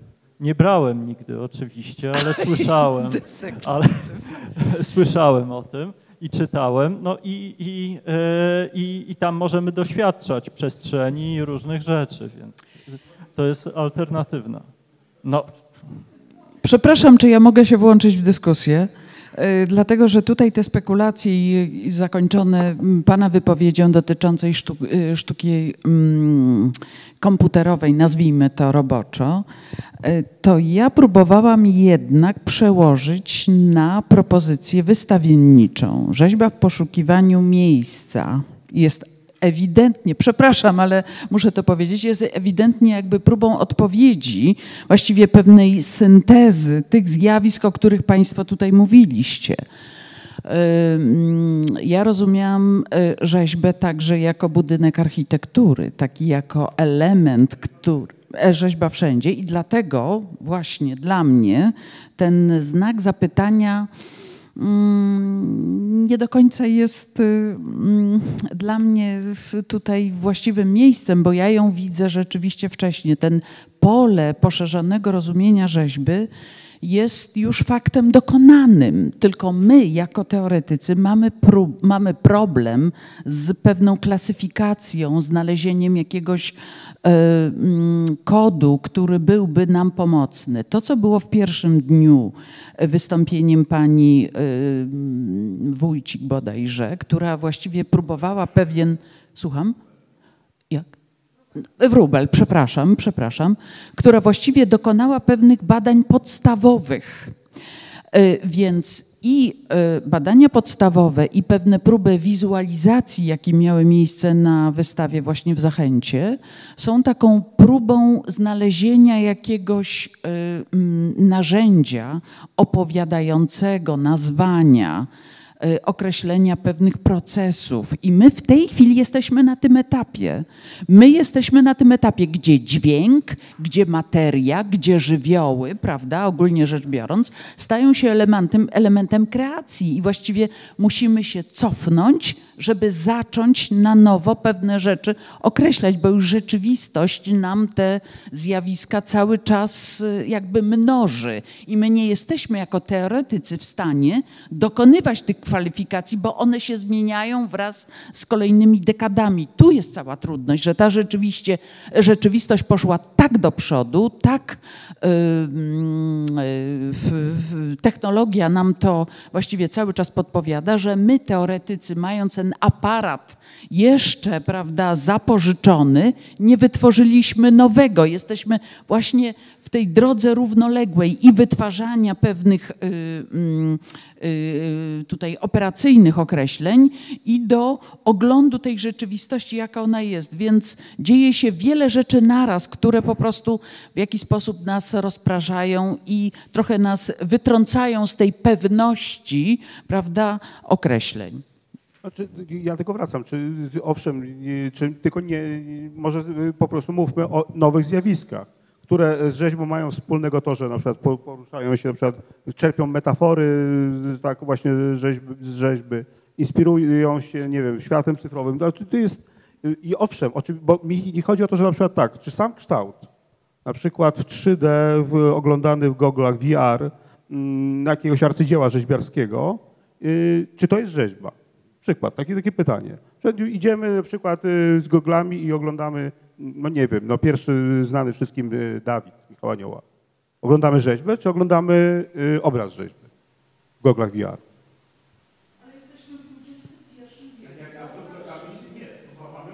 Ale co oglądamy? Co oglądamy w w goglach?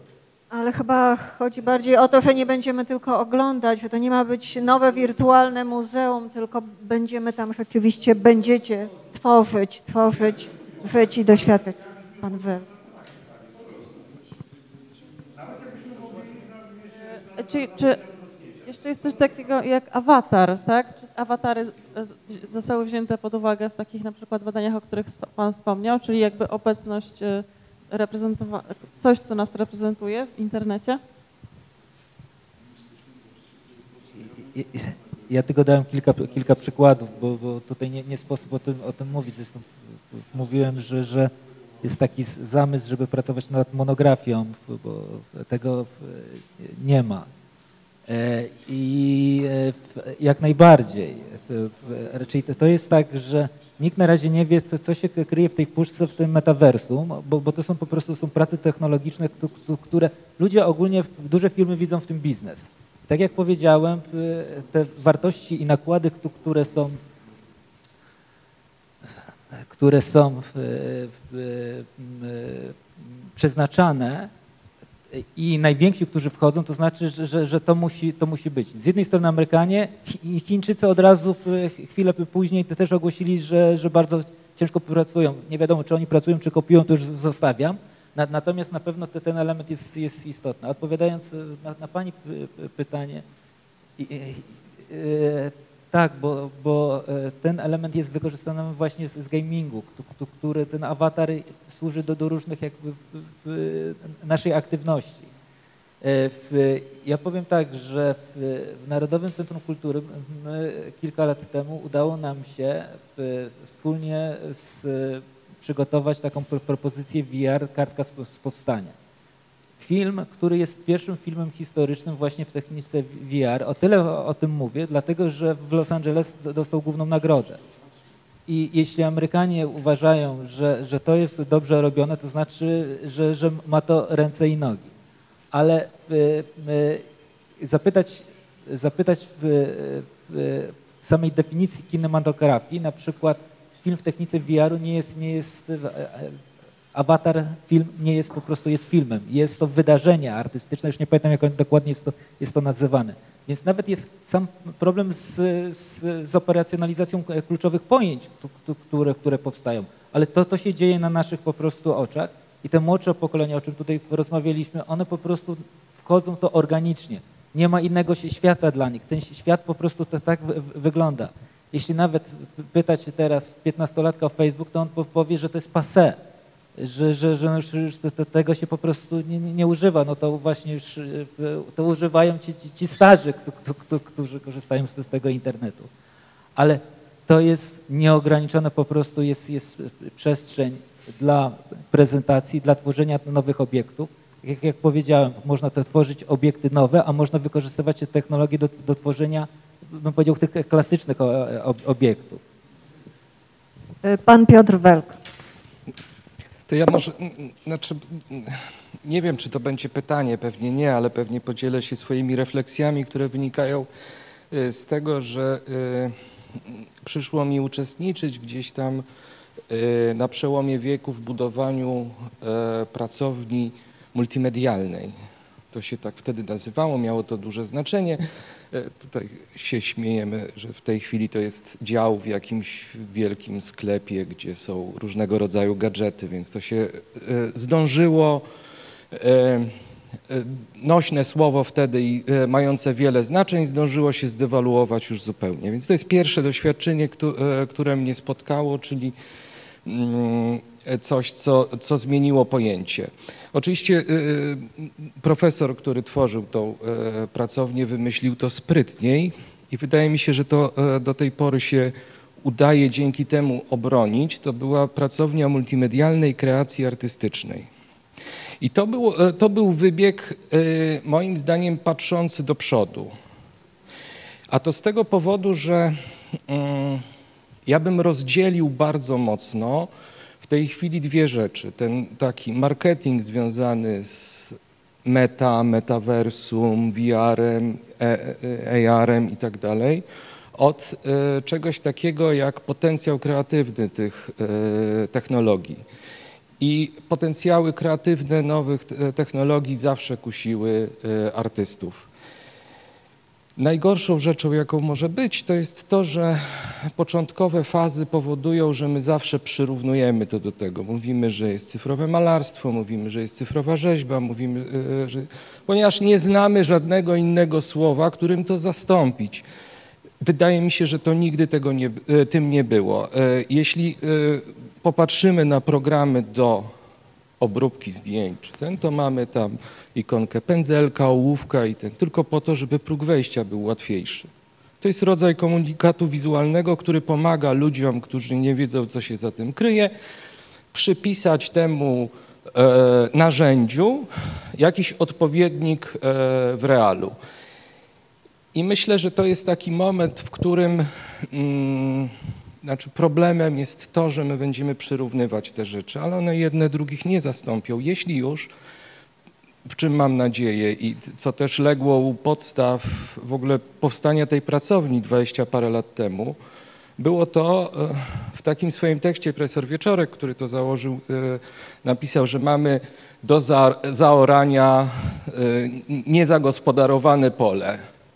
I po prostu dostajecie do ręki e, jakieś nowe narzędzia, ale od waszej wyobraźni, od waszej e, możliwości twórczych zależy, jak to stanie zaorane i jak je nazwiecie. I myślę, że jeśli mamy rozpatrywać to w jakikolwiek sposób, to chyba z taką nadzieją, że dzięki temu zyskamy coś nowego. No, to samo jest w tej chwili, jest duży oczywiście boom na sztuczną inteligencję, e, AI, prawda, wszystko jest piękne, ale pojawiają się nowe problemy, pojawiają się nowe... Natomiast y, jest doskonała y, książka, która jest y, oczywiście sygnowana przez autora, ale jest zbiorem, e, mm, zbiorem wypowiedzi różnych ludzi, którzy y, kreatyw, z- reguły z, z tej branży kreatywnej, która, którzy się zajmują sztuczną inteligencją i wypowiadają się o swoich doświadczeniach i mówią o tym jako po prostu narzędziu, czyli narzędziu w rozumieniu rozszerzania ludzkich możliwości albo jakby ekonomicznie, nie w sensie pieniądza, tylko w sensie wydajności, w sensie e, nie wiem, precyzyjności, doskonałości, gdzieś tam działań w, jakimś obszarze, też nie można tego tak e, generalizować. I, i, i, mam takie wrażenie, że to trzeba obserwować. Na szczęście jest wielu twórców, którzy w to, wesz, w to weszło i jak każdy gadżet, który się nowy pojawia, marketingowo często jest określony, że nie wiem, będzie przełomem gdzieś tam, potem tym przełomem w tym dokładnie polu nie jest, ale się okazuje, że ma e, jakieś świetne zastosowanie w czymś, czego nie braliśmy pod uwagę. I ja trochę liczę na to, że to się tak ułoży, że y, że rzeźbiarze będą nadal potrzebni, będą robili swoje, będą powstawały rzeźby, które możemy oglądać, i, y, a w tym świecie wirtualnym, jeśli coś powstanie, to powstanie coś, co, y, co będziemy mogli doceniać po prostu w inny sposób. Y, Bo też y, w jakimś sensie takie zwykłe pobieranie danych i ich przetwarzanie po to, żeby odtworzyć je mm, w sposób wirtualny, jest chyba jakimś rodzajem jednak pomyłki, no bo y, y, jakby lepiej widzimy w tym wirtualnym świecie, coś się zmienia, coś ten. Więc to jest pierwsza rzecz, y, którą jakoś tam widzę. Natomiast myślę, że da się to twórczo rozwijać, przerabiać w taki sposób, że zobaczymy mm, tą rzeczywistość, którą, którą gdzieś tam mamy i znamy, pod jakimś innym kątem, co nam, nie wiem, zwiększy możliwości poznawcze, zwiększy możliwości, e, nie wiem, jakiegoś estetycznego, e, do, estetycznych doznań w jakimś tam zakresie. Oczywiście nie wiem w jakim, bo, bo to nie mi ten, tylko liczę na to, że, że jeśli tym zajmują się ludzie, którzy patrzą do przodu, którzy nie, nie e, jakby są otwarci na to, że coś e, mogą zmienić, coś mogą dać od siebie, że, że jest w tym jakiś potencjał, ale chyba nie ten, którego, który teraz bronimy albo chcemy ten. Także. Ja To na tyle. Dwa, dwa słowa już oddaję głos. Ja y, zainspirowałem się do jednej rzeczy y, narzędziami cyfrowymi, bo dzięki temu przyszło do głowy, że powinniśmy stworzyć y, mapę rzeźb zrealizowanych w programie, coś takiego jak Google z, z możliwością wejścia. Pokazuję od razu trochę statystyki, przegląd geograficzny, gdzie, gdzie te rzeźby powstały. Ale przewrotnie odpowiem dalej. Ale obawiałbym się przyszłości tego programu, gdzie władze miast stwierdzą, że przecież łatwiej zrobić wizualizację w Google 3, 3D i nie wchodzić w prawdziwą przestrzeń z odpowiedzialnością, z uwarunkowaniami społecznymi, z tym wszystkim, bo będzie po prostu prościej i, i, i delikatniej. To była dość przewrotna uwaga, chociaż sprowadza nas e, troszkę na główną ścieżkę naszych poszukiwań, czyli programu e, e, rzeźba e, w przestrzeni publicznej. Ale tak nawiązując do Pana wypowiedzi, znaczy trudno się z nią nie zgodzić w dużej części, natomiast e, mnie się wydaje, że jednak E, Tutaj e, istotą tego, o czym słuchaliśmy, nie jest jednak traktowanie tego metaversum jako narzędzia, tylko jako nowego środowiska. I dla mnie to jest kluczowe. Jeżeli e, dla mnie jest to e, zmiana e, świata, nawet nie światopoglądu, nawet nie, nie wiem, relacji, ale świata. I ja, nie ja, my wszyscy bez wątpienia to obserwujemy, patrząc na nasze dzieci czy kolejne pokolenia.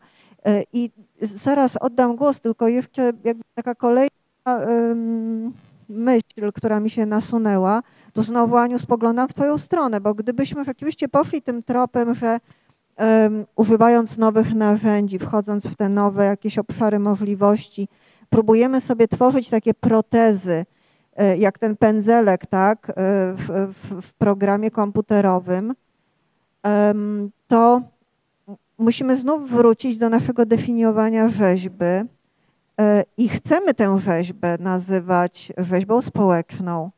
Chcemy muzykę e, widzieć jako rzeźbę, czyli jako działanie, które kształtuje przestrzeń. Więc nie do końca mogę się z tym zgodzić, że to jest tylko taki, e, taki zamiennik i że potrzebujemy tego zamiennika, żeby coś sobie ułatwić. To może ja, znaczy, żeby nie przedłużać, ja nie będę tego rozwijał, ale chyba źle zostałem zrozumiany, bo tutaj nie chodzi o to, y, bardziej chodziło mi o to, że e, żeby dość trudne e, narzędzie, za którym stoi jakaś tam technologia, było łatwiejsze do, e, jakby do, do wejścia w nie jako e, w pełni funkcjonalne, potrzeba nam pew- pewnych rodzajów wskazówek. Myślę, że też e, w tej chwili jest dużo takich narzędzi, które przynajmniej e, sprawiają wrażenie, że jest łatwo wejść. Zresztą te wspomniane przez Pana e, mm, wszystkie e, enginy gier są w tej chwili dość popularne. Jest dość dużo ludzi, którzy w to wchodzi, młodych ludzi, którzy jakby w to wchodzą. Też mają tam różnego rodzaju ułatwienia, i ten, ale wszystko jest to, po to właśnie, żeby, to, e, żeby na, na drodze tych, nie wiem, badań, e, działań, prób, błędów, e, mm, nowo powstających też prac różnego rodzaju, może nie nazywałbym ich, ten, żeby, po, żeby to środowisko rzeczywiście zaczęło żyć, żeby ono powstało, bo jego jeszcze nie ma w takiej normalnej formie, ale żeby ono powstało, musi mieć ten napęd. Ten napęd jest teraz wytwarzany. Ten napęd jest teraz w jakiejś e, sensie kreowany w różny sposób. Są różne miejsca. Szkoła filmowa ma teraz miejsce, cały VR Lab. E, No powstają różnego rodzaju mm, inicjatywy, które w różny sposób do tego podchodzą. Pamiętajmy też, że ta przestrzeń wirtualna to nie jest też przestrzeń tylko i wyłącznie wizualna, bo tutaj Pan powiedział o różnych dotykowych, no ale dźwięk, dźwięk binauralny, dźwięk przestrzenny, różnego rodzaju technologie, które, żeby było śmiesznie, nie są e, wcale nowymi technologiami. Stereoskopia, nie wiem, XVII wiek, je- jeśli dobrze pamiętam, pierwsze próby. E, Kaski VR to jest y, koniec lat 90., tylko one wtedy y, technologicznie nie, nie, nie spełniały różnych e, wymagań, był, były drogie i ten teraz technologia to umożliwia. E, Dźwięk binauralny to też jest bardzo dawny. Znaczy, odkąd mamy cyfrowy zapis dźwięku i ten e, i, e, próby z dźwiękiem przestrzennym były prowadzone. Więc my to po prostu tylko zbieramy wszystko jakby razem, budujemy. Te wszystkie narzędzia na nowo w jakimś sensie oddajemy twórcom, ale e, te przykłady takich działań pojedynczych gdzieś tam z jednego pola były, są. E, Więc e, dlatego to też mnie skłania do tego, żeby nie myśleć o tym mm, w taki sposób, że, że właśnie ten pędzelek to jest. Chodzi tylko o to, że e, jeśli my posługujemy się e, rozpoznawalnymi e, znakami, symbolami, ten to ludziom się natychmiast dużo łatwiej wchodzi w taką technologię. I myślę, że jesteśmy w fazie takiego mm, znakowania, symbol, e, dodawania symboli, które ma nam ma nam dać jakieś na- analogie do tego, e, co znamy, żebyśmy się tak bardzo nie bali w to wejść i, i tak dalej. Ale myślę że cały czas, że, e, że porównywanie tego do, do,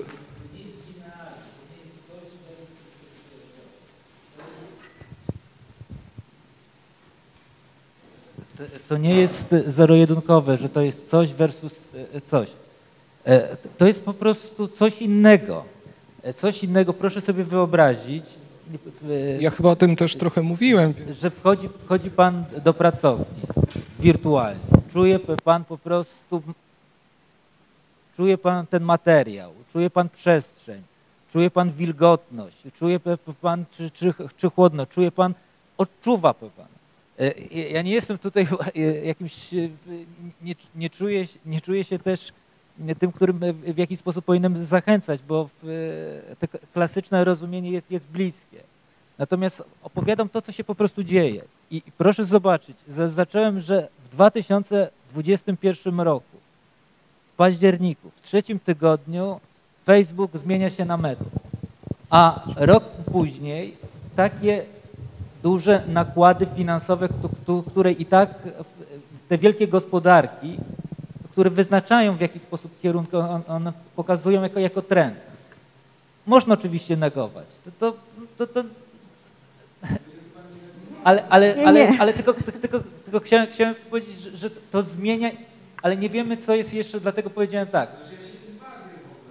Jest coś i czekamy, kiedy to pudełko zostanie uchylone, żebyśmy my mogli do niego zajrzeć i jak to po prostu wy, wygląda. Możemy to trochę właśnie te tak lepiej czy gorzej zobaczyć przez filmy VR, przez te gogle, możemy zobaczyć przez Gambit, ogólnie przez e, sektory kreatywne, któ- które, które e, e, eksplorują. Ale z, czekamy na wielkie, wielkie ot- otwarcie i wtedy będziemy mogli podać to chyba jakiejś takiej gruntownej krytyce. A jednak zdominowało. Ale y, trzeba chyba powiedzieć, że VR nie jest, nie znosi granic, prawda? Między tym, co on przenika. On- I tak naprawdę. My w tej chwili przenika, my, my, nasze pokolenie, właściwie no, jesteśmy w sytuacji, w której to zauważamy. Będziemy to odnotowywać, będziemy komentować, ale de facto tę analizę, którą dokonujemy na sztuce dwudziestowiecznej, za nas zrobi kolejne pokolenie, bo my już też nie będziemy mieli narzędzi, prawda? To, co Pan mówi, że oczywiście nasze dzieci już absolutnie w sposób y, y, swobodny poruszają się. My w to wchodzimy, więc jakby już jest zupełnie inna sytuacja u wyjścia. Więc ja myślę, że to, co tutaj zostało powiedziane, to jest właśnie taka próba mocowania się, na ile my w to wnikniemy, co to nam da.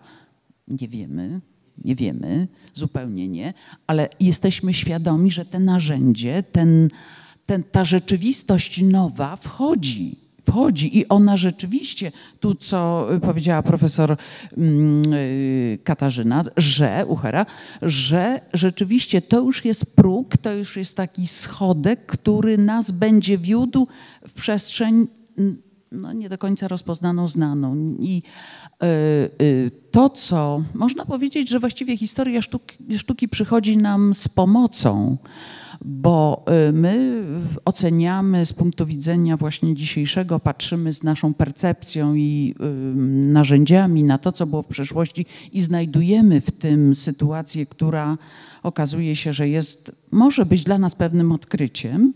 I dokładnie z przeszłości ludzie patrząc na nas, oni także znajdą te impulsy, prawda? Wydawałoby się czegoś, czego oni mogą już nie ogarniać. Nie, nie, nie, nie. To będzie na zakładce, to będzie taka progresywna, powiedziałabym, linia. I wydaje mi się, że ym, nawet nie próbujmy określać, co my widzimy. Czy to jest rzeźba, czy to jest obraz. To jest obraz jakiejś rzeczywistości. To w ogóle te kategorie, których, do których my jesteśmy przywiązani, nie będą istnieć. W związku z czym naprawdę to, co powiedziałam, ta dwutorowość badań jest w tej chwili czymś e, koniecznym. E, I, I tutaj nie martwmy się, bo wszystko jest w sferze kreacji, prawda? I naszych. I to jest, i to jest piękna puenta, Aniu.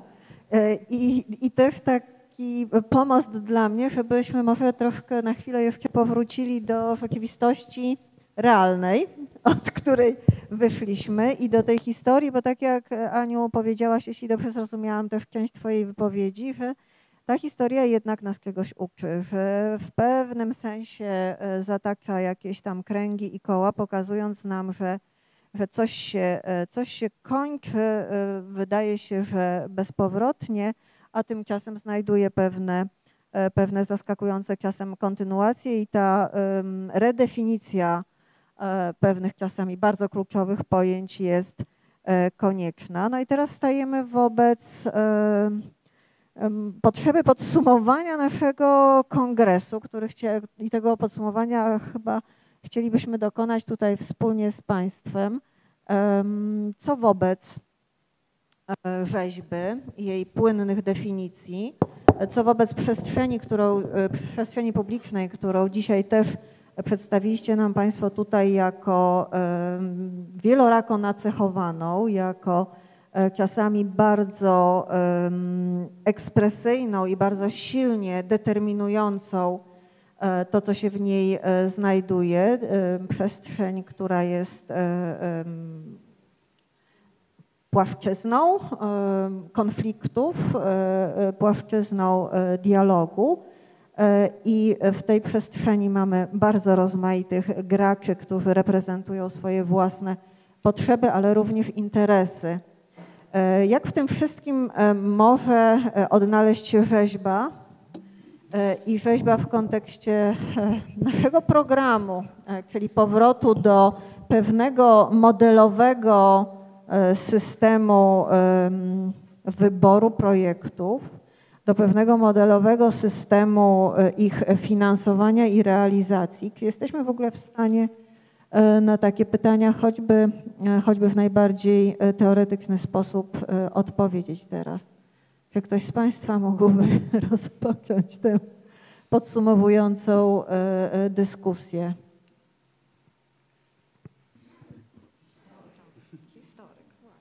W tym wypadku myślę, że fakt edukacji historycznej ma nie, nie pierwszorzędne znaczenie, ale mm, y, skoro dyskusja mm, ma dotykać praktycznych y, mm, wniosków, no to tu raczej odwołam się do doświadczeń kierowania instytucją, która również rozlicza programy różnego rodzaju.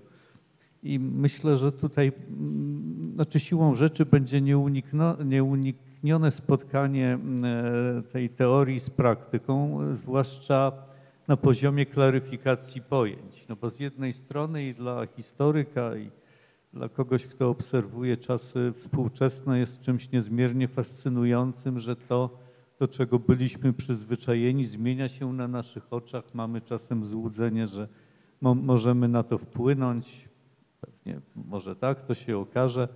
E, natomiast koniec końców e, instytucja, która no, ma odpowiedzialność za, za dofinansowywanie różnego rodzaju projektów, e, już może nie warto mówić, jakie to są reżimy odpowiedzialności i jakie konsekwencje się za tą odpowiedzialnością czają. E, no, musi też e, w formie regulaminów e, jakby danego programu bardzo jasno określić, wbrew jakby rozmyciu naszych czasów, czym jest rzeźba, jaką rzeźbę chce dofinansować, jaką opiekę, jaką ochronę, jakie traktowanie tej rzeźby chce uznać za przedmiot dofinansowania, a jakie nie. Więc tutaj myślę, że rozpoczynanie tej dyskusji takie bardzo techniczne mogłoby e, troszeczkę nas za bardzo zderzyć z ziemią. E, Nie o to przecież chodzi. Natomiast e, takiej, przed taką klaryfikacją uciec się, obawiam się, nie da, bo, bo, bo potem osoby, które, które korzystają chociażby z tego typu programu, jaki, jaki jest, jakim, jaki jest w naszym tle, i który nas tutaj spotkał, no, też będą oczekiwały, m, będą oczekiwały jasnych komunikatów, więc e, myślę, że zbliżyłem się jedynie do praktyki, ale na bezpieczny dystans. To ja y, teraz zabiorę głos. No rzeczywiście już spora podsumowań się, y, się zbliża cały czas y, liczę, że słuchają nas y, osoby, które za chwilę będą składały wnioski i, czytają te regulaminy, o których pan dyrektor y, wspomniał, ale też słuchają nas, bo z jednej strony to są rzeczywiście bardzo takie reżimowe, twarde, jasne zapisy, kiedy ma być podpisana umowa, daty z rozliczenia się z projektu. To jest program, y, wracam do, do początku tego, od czego zaczęliśmy, to jest program inwestycyjny. Natomiast oczywiście jego jest sztuka, tak? Sztuka, y, y, socjologia, kultura twórcza rola, wszystkie te rzeczy, których się skodyfikować, zdefiniować nie da, da się od nich i dyskutować. W związku z tym y, też wracam do, do wątku z rozpoczęcia. Wydaje się, że e, pozytywne efekty mogą przyjść po długich latach trwania takiego programu, bo to się przecież wiąże z zmianami mm, w, w, w myśleniu o, o, o wszystkich pojęciach, które się składają na rzeźbę w przestrzeni publicznej i także też dla niepodległej. Tak. To cały czas ewoluujemy, ale się, musimy się, się uczyć. Y, Też odwołam się do, do zapisu. No, nie da się pewnie y, z, zdefiniować, co będzie dobrą propozycją, tak, jak, jak ją trzeba złożyć, ale to wczoraj cytowałem jeden z zapisów y, w regulaminie, że oczekujemy dzieł wybitnych twórców. No, bez tego no, nie, ma żadnej gwarancji, że dzieło będzie wybitne, jeśli nie, nie przystąpi do jego realizacji wybitny twórca. A i to nie jest jeszcze przecież gwarancją, tylko to daje szansę, tak? Daje szansę, na, bo pro, pro, problem jest tak złożony, że trzeba też pamiętać, żeby mm, ułatwiać, ułatwiać i jeszcze raz ułatwiać, no i liczyć na bardzo dobre efekty. A ja jeszcze podpytam w takim razie na zasadzie wątpliwości tylko, bo dzisiaj dużo słyszeliśmy, pan doktor em, mówił o, o tej dialogiczności czy o tych konfliktach, prawda, które powinny przecież znaleźć jakieś odbicie, ujście i na ile możemy próbować, bo chyba nie możemy zagwarantować, żeby, no wrócę do tego w ramach tego programu, w jakiś sposób zapewnić czy dać szansę na, na taki dialog. Czy jest to możliwe przy tym zinstytucjonalizowaniu e, życia artystycznego? No, w, takiej, w takiej rzeczywistości się obracamy, ale jakie to ma odniesienie e, do tego właśnie, o czym Pan dzisiaj mówił? Czy da się takie odniesienie zrobić? No ja e, mówiłem dużo o partycypacji, w związku z tym może Państwo się włączycie w dyskusję i zadacie pytania jakieś e, e, i może oddam głos Państwu, dlatego że no tutaj e, siedzimy w tym, w tym rzędzie i dokonujemy przemocy symbolicznej na Państwu i więc tą przemo- przemoc symboliczną możemy ograniczyć. Y, Przewidzieliśmy i to, y, dlatego przecież jeszcze raz y, wracam, spotykamy się na kongresie. Kongres, który zasady ma być forum kształtowania się pewnych środowisk, wykluwania się pewnego, pewnego rodzaju. Dyskusja jest czymś absolutnie naturalnym, podział jest tylko wyrazem naszego lenistwa, że nie, nie siedliśmy w kręgu na przykład. No, no właśnie, więc zapraszam Państwa może.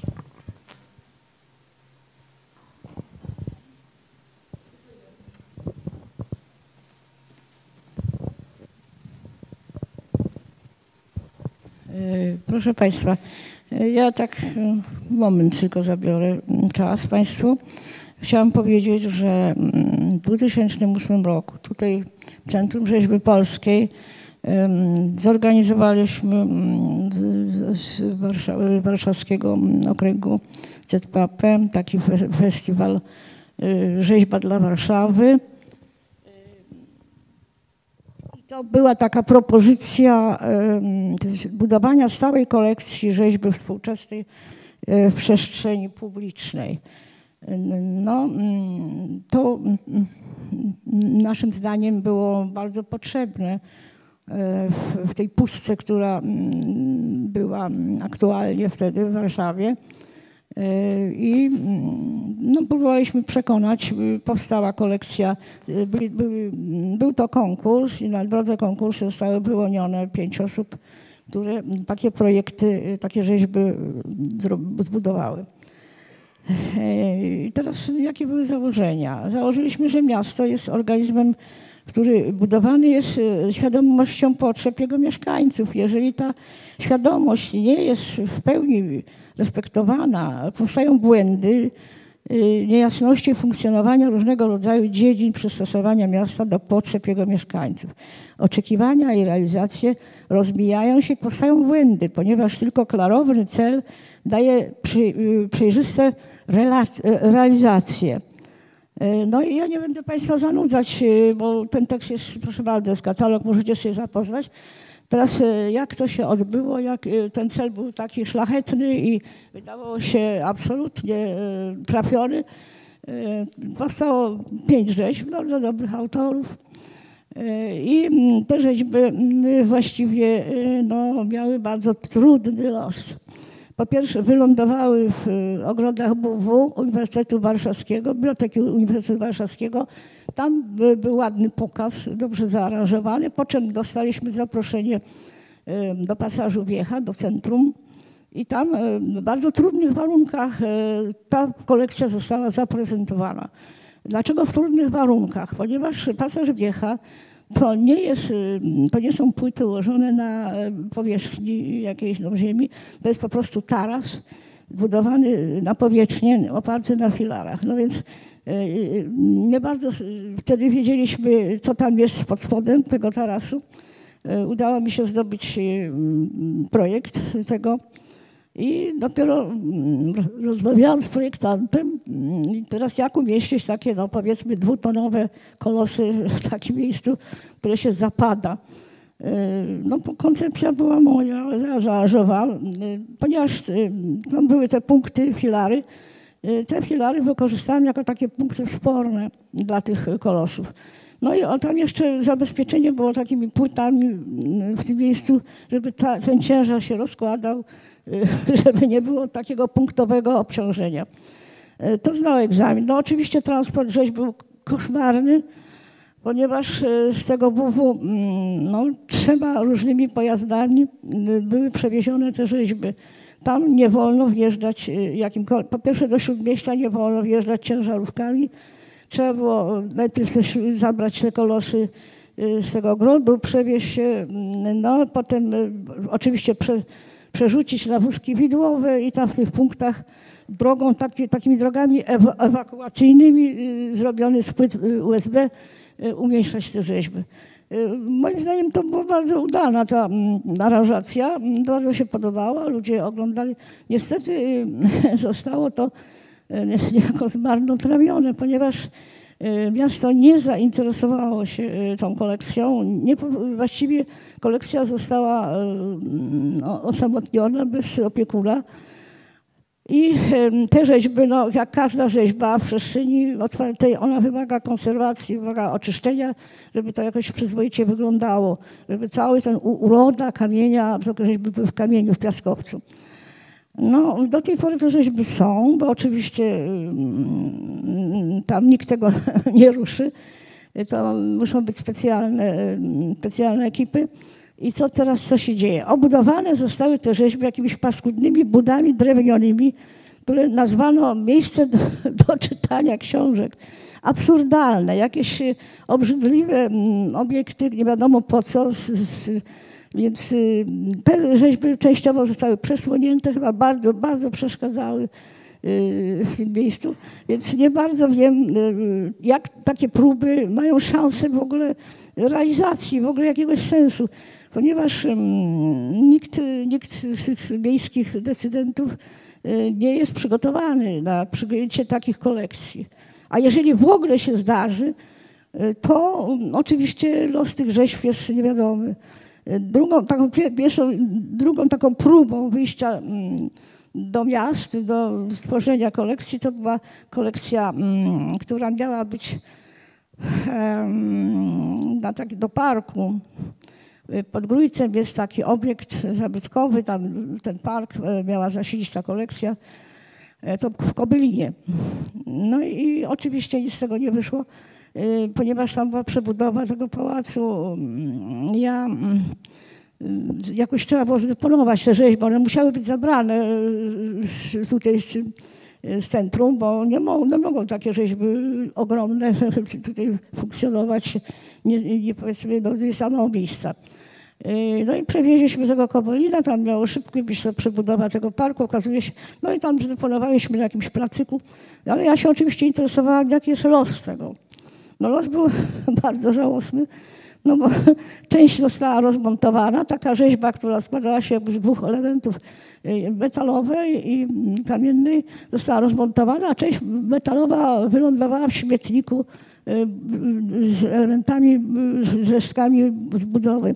Oczywiście natychmiast zajęłam się tą sprawą i y, przyjął te rzeźby Grójec, i one są w parku w Grójcu. I na znowu nastąpiła ta sama sytuacja, jak pasażu wjechała, może jeszcze gorsza, bo tymi rzeźbami się właściwie, no wprawdzie nie zostały zdewastowane, o chwalić tutaj Grójec, bo różnie się to zdarza, ale są, były zanieczyszczone, brudne, więc y, udało mi się tylko doprowadzić do tego, żeby one były oczyszczone i żeby, mm, żeby mogły być jako tako zadbane. Więc y, proszę Państwa, no, ze strony rzeźbiarzy y, są konkretne propozycje i to są dobre propozycje. No niestety y, warunki są takie, że działamy w próżni. Więc y, możemy sobie oczywiście tu ustalać różne wspaniałe rzeczy, y, tylko niestety no, mm, ciężko będzie y, do jakiegoś sensownego końca to doprowadzić, żeby rzeczywiście te kolekcje powstawały. Dziękuję bardzo. Dziękuję. No, to dobitnie wskazuje, że program no, właśnie no, ma swoją rację bytu, gdyż no, wy, wy, widać, że jedno środowisko nie, nie może sobie poradzić. Tak? Samo proponując, zostawiając rzeźby i y, po, wykonując spory wysiłek, no ale potem nie ma gospodarza. Tak? Nikt się nie poczuwa do współodpowiedzialności współ albo własności tych rzeźb. W programie, przypomnę, no, pierwotnym ym, wnioskodawcą jest samorząd, oczywiście przez instytucje, samorządowe instytucje kultury, no, które powinny mieć y, więcej ym, niż inne y, instytucje y, wiedzy o, o kulturotwórczej roli y, sztuki i rzeźby w przestrzeni publicznej. Natomiast no, są prowadzone przez samorządy i samorządy zosta, stają się właścicielami obiektu, tak, inwestycji. Trwałość co prawda wynosi 5 lat, no ale to y, poniesiony nakład i jakby wzięcie na siebie, tak, posiadanie tej rzeczy, no bierze też y, na siebie taki samorząd odpowiedzialność za dbanie, trzymanie, no a wcześniej za planowanie. Tu taka podpowiedź, bo jeśli rzeźby mm, są w bardzo złym stanie, to jednym z celów y, programu jest y, konserwacja rzeźb. Y, One mogą się wiązać z przeniesieniem na, na nowe miejsce. W związku z tym i jeszcze też wracam do tego ważnego celu ekonomicznego, w związku z tym, że samorządy nie muszą same wygospodarować tych środków, odbierając innym ważnym celom, mogą składać do, do mm, programu własnego Centrum Rzeźby Polskiej w Orońsku i, i zagospodarowywać. No jest tu też rola mm, nie, nie, poś, nie bezpośrednia, ale pośrednia samych artystów. No, trzeba inspirować, inspirować y, tych ym, y, włodarzy miast, żeby po prostu brali tą odpowiedzialność, bo to jest odpowiedzialność i to jest ich, to jest rola tak, samorządów, dbanie o, o przestrzeń publiczną w każdym zakresie też, jeśli chodzi o tą, o tą sztukę. No ale jeśli na przykład będzie jakaś blokada albo duża niechęć, to, to nawet program nie zmusi tak, do podjęcia- tej odpowiedzialności. I tu wracam do, do poprzedniej mojej myśli. No to czeka nas kilkanaście, może, może więcej lat pracy, kiedy się wszyscy już przekonamy, że to jest ważne i potrzebne.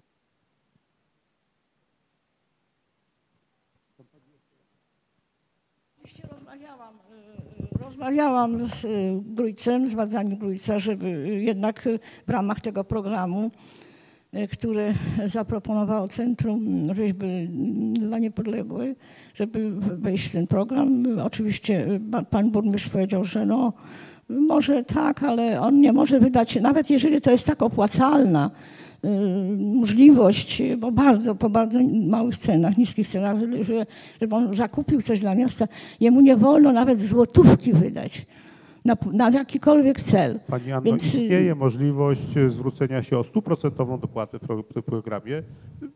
Wystarczyło y, tylko za, zbudować argumentację. Wyjątkowych, przy, to jest przewidziane w regulaminie. Jest do 100%. y, Zasada brzmi do 90%, ale z ważnych wyjątkowych przyczyn do 100%. No bo wiadomo, że małe ośrodki, małe miasta, y, no, to potrzeba, no jak, jak to się wykania, potrzebują takich obiektów. Niestety w ich przekonaniu bynajmniej nie zgadzają się z tym, nie, niepotrzebne im to. Więc y, jeżeli będą takie możliwości, to oczywiście jeżeli będą dalej te programy nie, dla niepodległej, to ja bardzo chętnie w tym będę uczestniczyła, ale ja muszę mieć zgodę i świadomość y, tego, tego kto to kupi, prawda, żeby on wiedział, że Tak, jeszcze- chociaż oni to mają, więc uważają w porządku. Jeszcze, ale jeszcze jedno ułatwienie. E, W trzeciej edycji tego, tegorocznej e, uprawnionym wnioskodawcą będą organizacje pozarządowe i tu być może po prostu zdejmiemy też tą, ten, ten ym, przymus y, wypracowania z samych urzędników y, wniosków. Y, Wystarczy, no, no, ale jednak no, nie, no, ktoś musi ten wniosek y, napisać, złożyć, opracować i potem współodpowiedzialność za to wziąć. Ale być może jeśli urzędnicy sami na przykład y, no, czują się y, za, y, zajęci czymś innym, tak, nie mogą poświęcić tego czasu, no to od tego roku mogą się posłużyć organizacjami pozarządowymi, no to też warto takie, takie środowiska zainteresować. Pani Ewa. Jestem na tym kongresie od samego początku. Y, Słucham pilnie y, Waszych wszystkich wykładów, wypowiedzi. Y, Jakie ja mam wnioski, że te wszystkie Wasze problemy, mówię Wasze rzeźbiarzy, wszystkie problemy, wszystkie kłopoty, kłótnie, jakbyśmy to nie nazwali, to jest wszystko strasznie podobne do, do problemów, jakie mają i architekci, i malarze, i w ogóle wszyscy, którzy zajmują się sztuką w jakiś sposób. I mam taką propozycję, że jest y, rzeźba w przestrzeni publicznej. y, Jest to, rozumiem, cykl, ale może by Orońsko, które ma świetne warunki, mm, y, próbowało zorganizować też właśnie tego typu bardzo podobne spotkanie, ale ze wszystkimi, którzy się zajmują edukacją. Bo co byście tu nie mówili, to się wszystko kończy na edukacji bo, y, bo nauczyciele nie wiedzą, bo włodarze nie wiedzą, bo rządzący nie wiedzą mm, rzeczy dla nas oczywistych, prawda? A oni mm, nawet nie rozumieją, że to może być ważne. Mm, W ogóle no, jakby są z innego świata, co już tutaj Państwo też zauważyli. I jeżeli by zrobić y, tego typu kongres, takie spotkanie, mm, a wiem, że takich osób i takich jednostek jest sporo, bo tak jak w naszym instytucie jest dział edukacji, w różnych innych centrach czy instytutach są działy edukacji. I mam takie wrażenie, że każdy działa na swoim polu y, tak Naro- jakby... Narodowy od- Instytut Architektury i Urbanistyki, to dopowiem, żeby wszyscy tak, wiedzieli, jakby każdy instytut. działa oddzielnie i każdy w swojej działce. Mm, y, A ci wszyscy, którzy zajmują się sztuką w stosunku do całego społeczeństwa, to jest nas bardzo mało.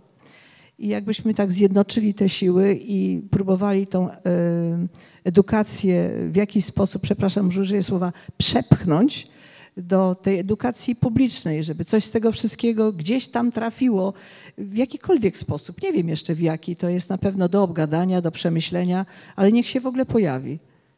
Mam nadzieję, że to możliwe. Nie wiem, czy metaversu nie będzie wcześniej, niż my się przebijemy do, do edukacji. To wraca, ten, ten, ten, postulat absolutnie wraca. Tak? Już w zasadzie trzeci dzień się powtarza, że powinniśmy, no, że edukacja jest u podstaw, świadomości. Tak?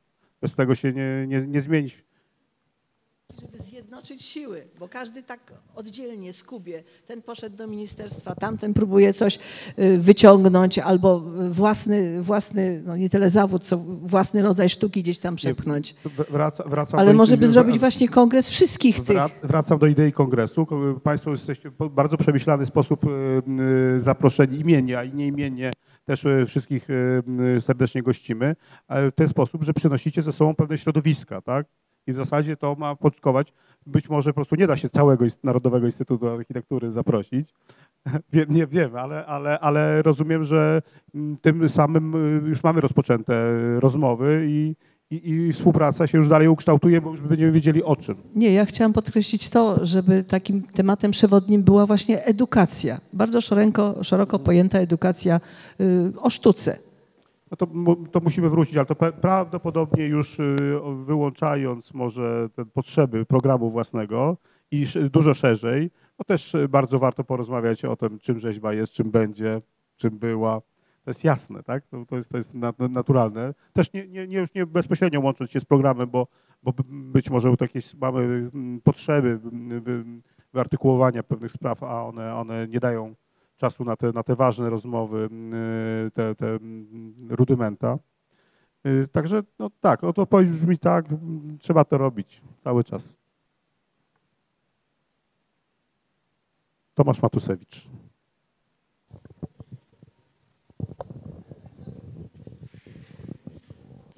Ja tylko tak e, chciałem zadać e, Annie Szalas pytanie. Tak, rozumiem, że kolekcja e, rzeźbiarzy rzeźby dla Warszawy nie skończy w Grójcu.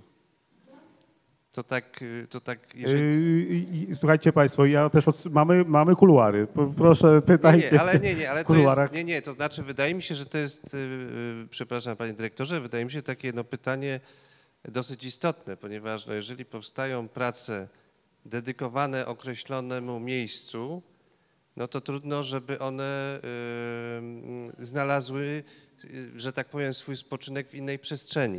Y, No to, Bo to jest, to, bo to jest, ale chciałbym o zupełnie czymś innym. Ale to tylko jedno, jedno słowo. Wolność artystyczna, jeśli wolność twórcy i jego prawa. Jeśli, jeśli dopuści, tak, twórca, nie powinno się tego robić bez y, autora.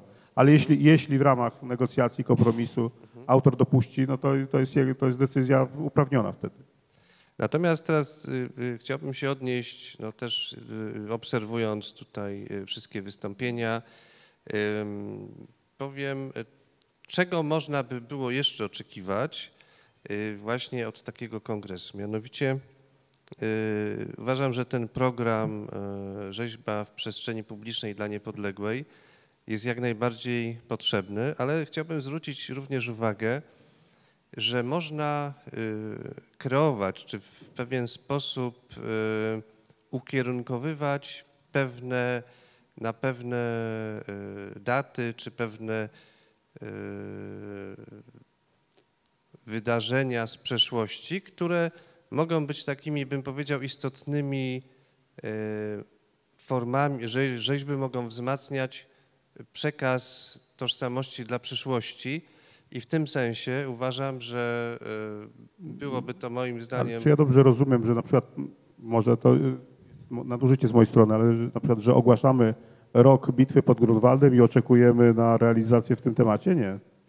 No może nie tak, ale dam na przykład, y, jeżeli zobaczymy, no bo też może warto, rozumiem pewien sarkazm w tym, natomiast powiem, jeżeli ym, zobaczymy w jaki sposób nasze państwo odniosło się do bitwy do roku y, sprzed 100 lat, y, y, rocznicy 20 roku, no to moim zdaniem podnieśliśmy, polegliśmy. I, I uważam, że pochodząc z Poznania, no to od razu powiem otwarcie, że widzę na przykład datę, to może się Państwu, bo mówiliśmy o tutaj o powiedzmy przestrzeni wirtualnej i tak dalej, rozumiem uśmiechy, ale dla mnie na przykład taką, takim wydarzeniem, które nas czeka, to jest tysiąclecie koronacji króla Bolesława Chrobrego. I z mojego skromnego punktu widzenia, jeżeli przechodzę na przykład koło miejsca, gdzie leżą, rzeczywiście jest to miejsce spoczynku tych władców, to moim zdaniem, y, a mamy wszędzie ulice, osiedla, to być może nam to nie jest potrzebne, ale być może dzieciom takie pojęcie króla korony jest pewną wartością. I wydaje mi się, że coś, co może być rzeczywiście banalne, ale wydaje mi się, że y, takie pojęcia, historia, a tym bardziej tysiąc lat, no, jest taką trudną do podważenia wartością. Znaczy, ja już, już trochę o tym mówiłem, ale tu jeszcze to rozszerzę. Mówiłem to w kontekście mm, kodeksu dobrych praktyk konkursów pomnikowych, że on się nie zajmuje sposobem wyłaniania idei, co należy upamiętnić. Choć były takie, mm, takie mm, postulaty, że, że, że powinno się to zapisać. Nie, to jest y, rola, y, no nie jest to rola Centrum Rzeźby Polskiej, żeby zalecać na przykład, co mo- powinno być, co- czego nie powinno być. Ta dyskusja jest zbyt szeroka. To jest odpowiedzialność społeczności lokalnych, szerokich, bardzo szerokich, czasami narodowej, całej państwowej y, społeczności. Mm, To samo też jeśli, jeśli chodzi o program. To, to y, mm, rol, rolą jest naszą tylko włączenie na pewnym etapie y, specjalistów tak, żeby to właśnie idea nie zo- została obudowana formą e, nieprzygotowaną, niedopracowaną, e, z, z artystą, który nie, nie przygotował się do roli lub bez artysty. E, Widziałem pomnik e, zrobiony bez żadnego, są pomniki robione bez artystów, które udają formy artystyczne, o tak to powiem, bo, bo przecież e, przypominam, że też w kodeksie zapisaliśmy, że, że w ogóle nie, nie tylko forma artystyczna może być pomnikiem, bo pomnik jest funkcją, czyli drzewo, kamień, e, trwała ruina, nie ma problemu. To nie, nie zawsze musi być e, dzieło sztuki, ani rzeźba, ani, ani pomnik. Także nie, myślę, myślę, że byśmy sobie, znaczy może, może jeszcze innym językiem powiem, nie poradzilibyśmy sobie z y, swoim postulatem. No, wydaje mi się, że y, mam większą wiarę w to, ale powiem, co mam na myśli też, mianowicie, że y, y, właśnie być może danie gotowego wzoru, modelu, prawda, że no są środowiska, które mają dobrą wolę, że chciałyby na przykład uwiecznić, upamiętnić, natomiast nie mają żadnych środków na to. To, znaczy to może jeszcze, to może powiem inaczej. Jak, jak ja widzę pewne, y, pewną ewolucję programu, która y, no, mogłaby prowadzić y, częściowo do spełnienia tego typu postulatów. Nie wiem, czy to jest wykonalne, albo trzeba jeszcze przedyskutować teraz y, bez y, brania odpowiedzialności, co należy zrobić, żeby doszło do tego. Wydaje mi się, że mo, można by mm, ten program wzbogacić o rodzaj finansowania y, projektów artystycznych, które nie przychodzą do realizacji od razu, tylko są na przykład zgłaszane przez artystów samych, tak? Czyli program y, dofinansowuje długotrwałe, odpowiednie badania i opracowanie jakiegoś, jakiegoś projektu do przestrzeni publicznej. Ten projekt jest y, gotowy i być może jakieś władze lokalne w drugim etapie albo same zrealizują go, bo mają świetnie przygotowany projekt. Druga, druga taka osłona być może przed do- dotowanie i, i, i trzymanie, że tak powiem, odpowiedniego przygotowania konkursów. Bo konkurs też kosztuje, tak? Y, Pula nagród, opłacenie y, sądu konkursowego y, i, i, i jeszcze jeśli nie doprowadzi do rozstrzygnięcia, to jest zmarnowaniem środków publicznych i w oczach urzędników może być niedopuszczalne. Ale tymczasem mogło, gdyby był- finansowany z programu Rzeźba Przestrzeni Publicznej, to by w pewnym sensie też powiększał pulę rzeczy, które są do, do zrobienia, a nie na przykład są, podlegają tej presji inwestycji na przykład, tak? Takie, że, że w tym roku trzeba wziąć y, dofinansowanie i do końca roku się rozliczyć z finansowania i, i, i, i to jest przysłania, przysłania, przysłania też te, te, te cele społeczne, artystyczne i tak dalej. To może to by trochę pomogło. Ja mam tylko e, okrutny obowiązek poinformowania, że czas nam się skończył i niestety niektórzy z nas muszą nas opuścić. Więc nie wiem, panie dyrektorze, jaka jest decyzja? Czy zostaniemy tutaj dziękując Nie, zróbmy, e, z- z- uczestnikom? zamkniemy czy po kongres prostu i przeniesiemy właśnie, rozmowy. przeniesiemy się w kuluary.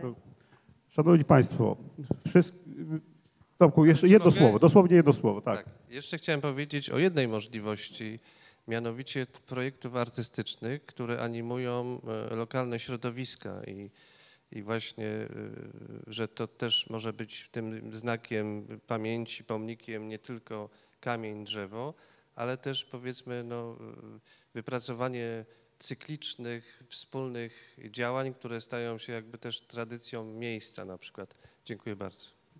To, tylko podsumuję. Kończymy kongres, który też jest częścią programu własnego. Czyli, czyli animujemy i być może on będzie miał kolejne swoje odsłony zajmujące się już bardziej szczegółowymi sprawami.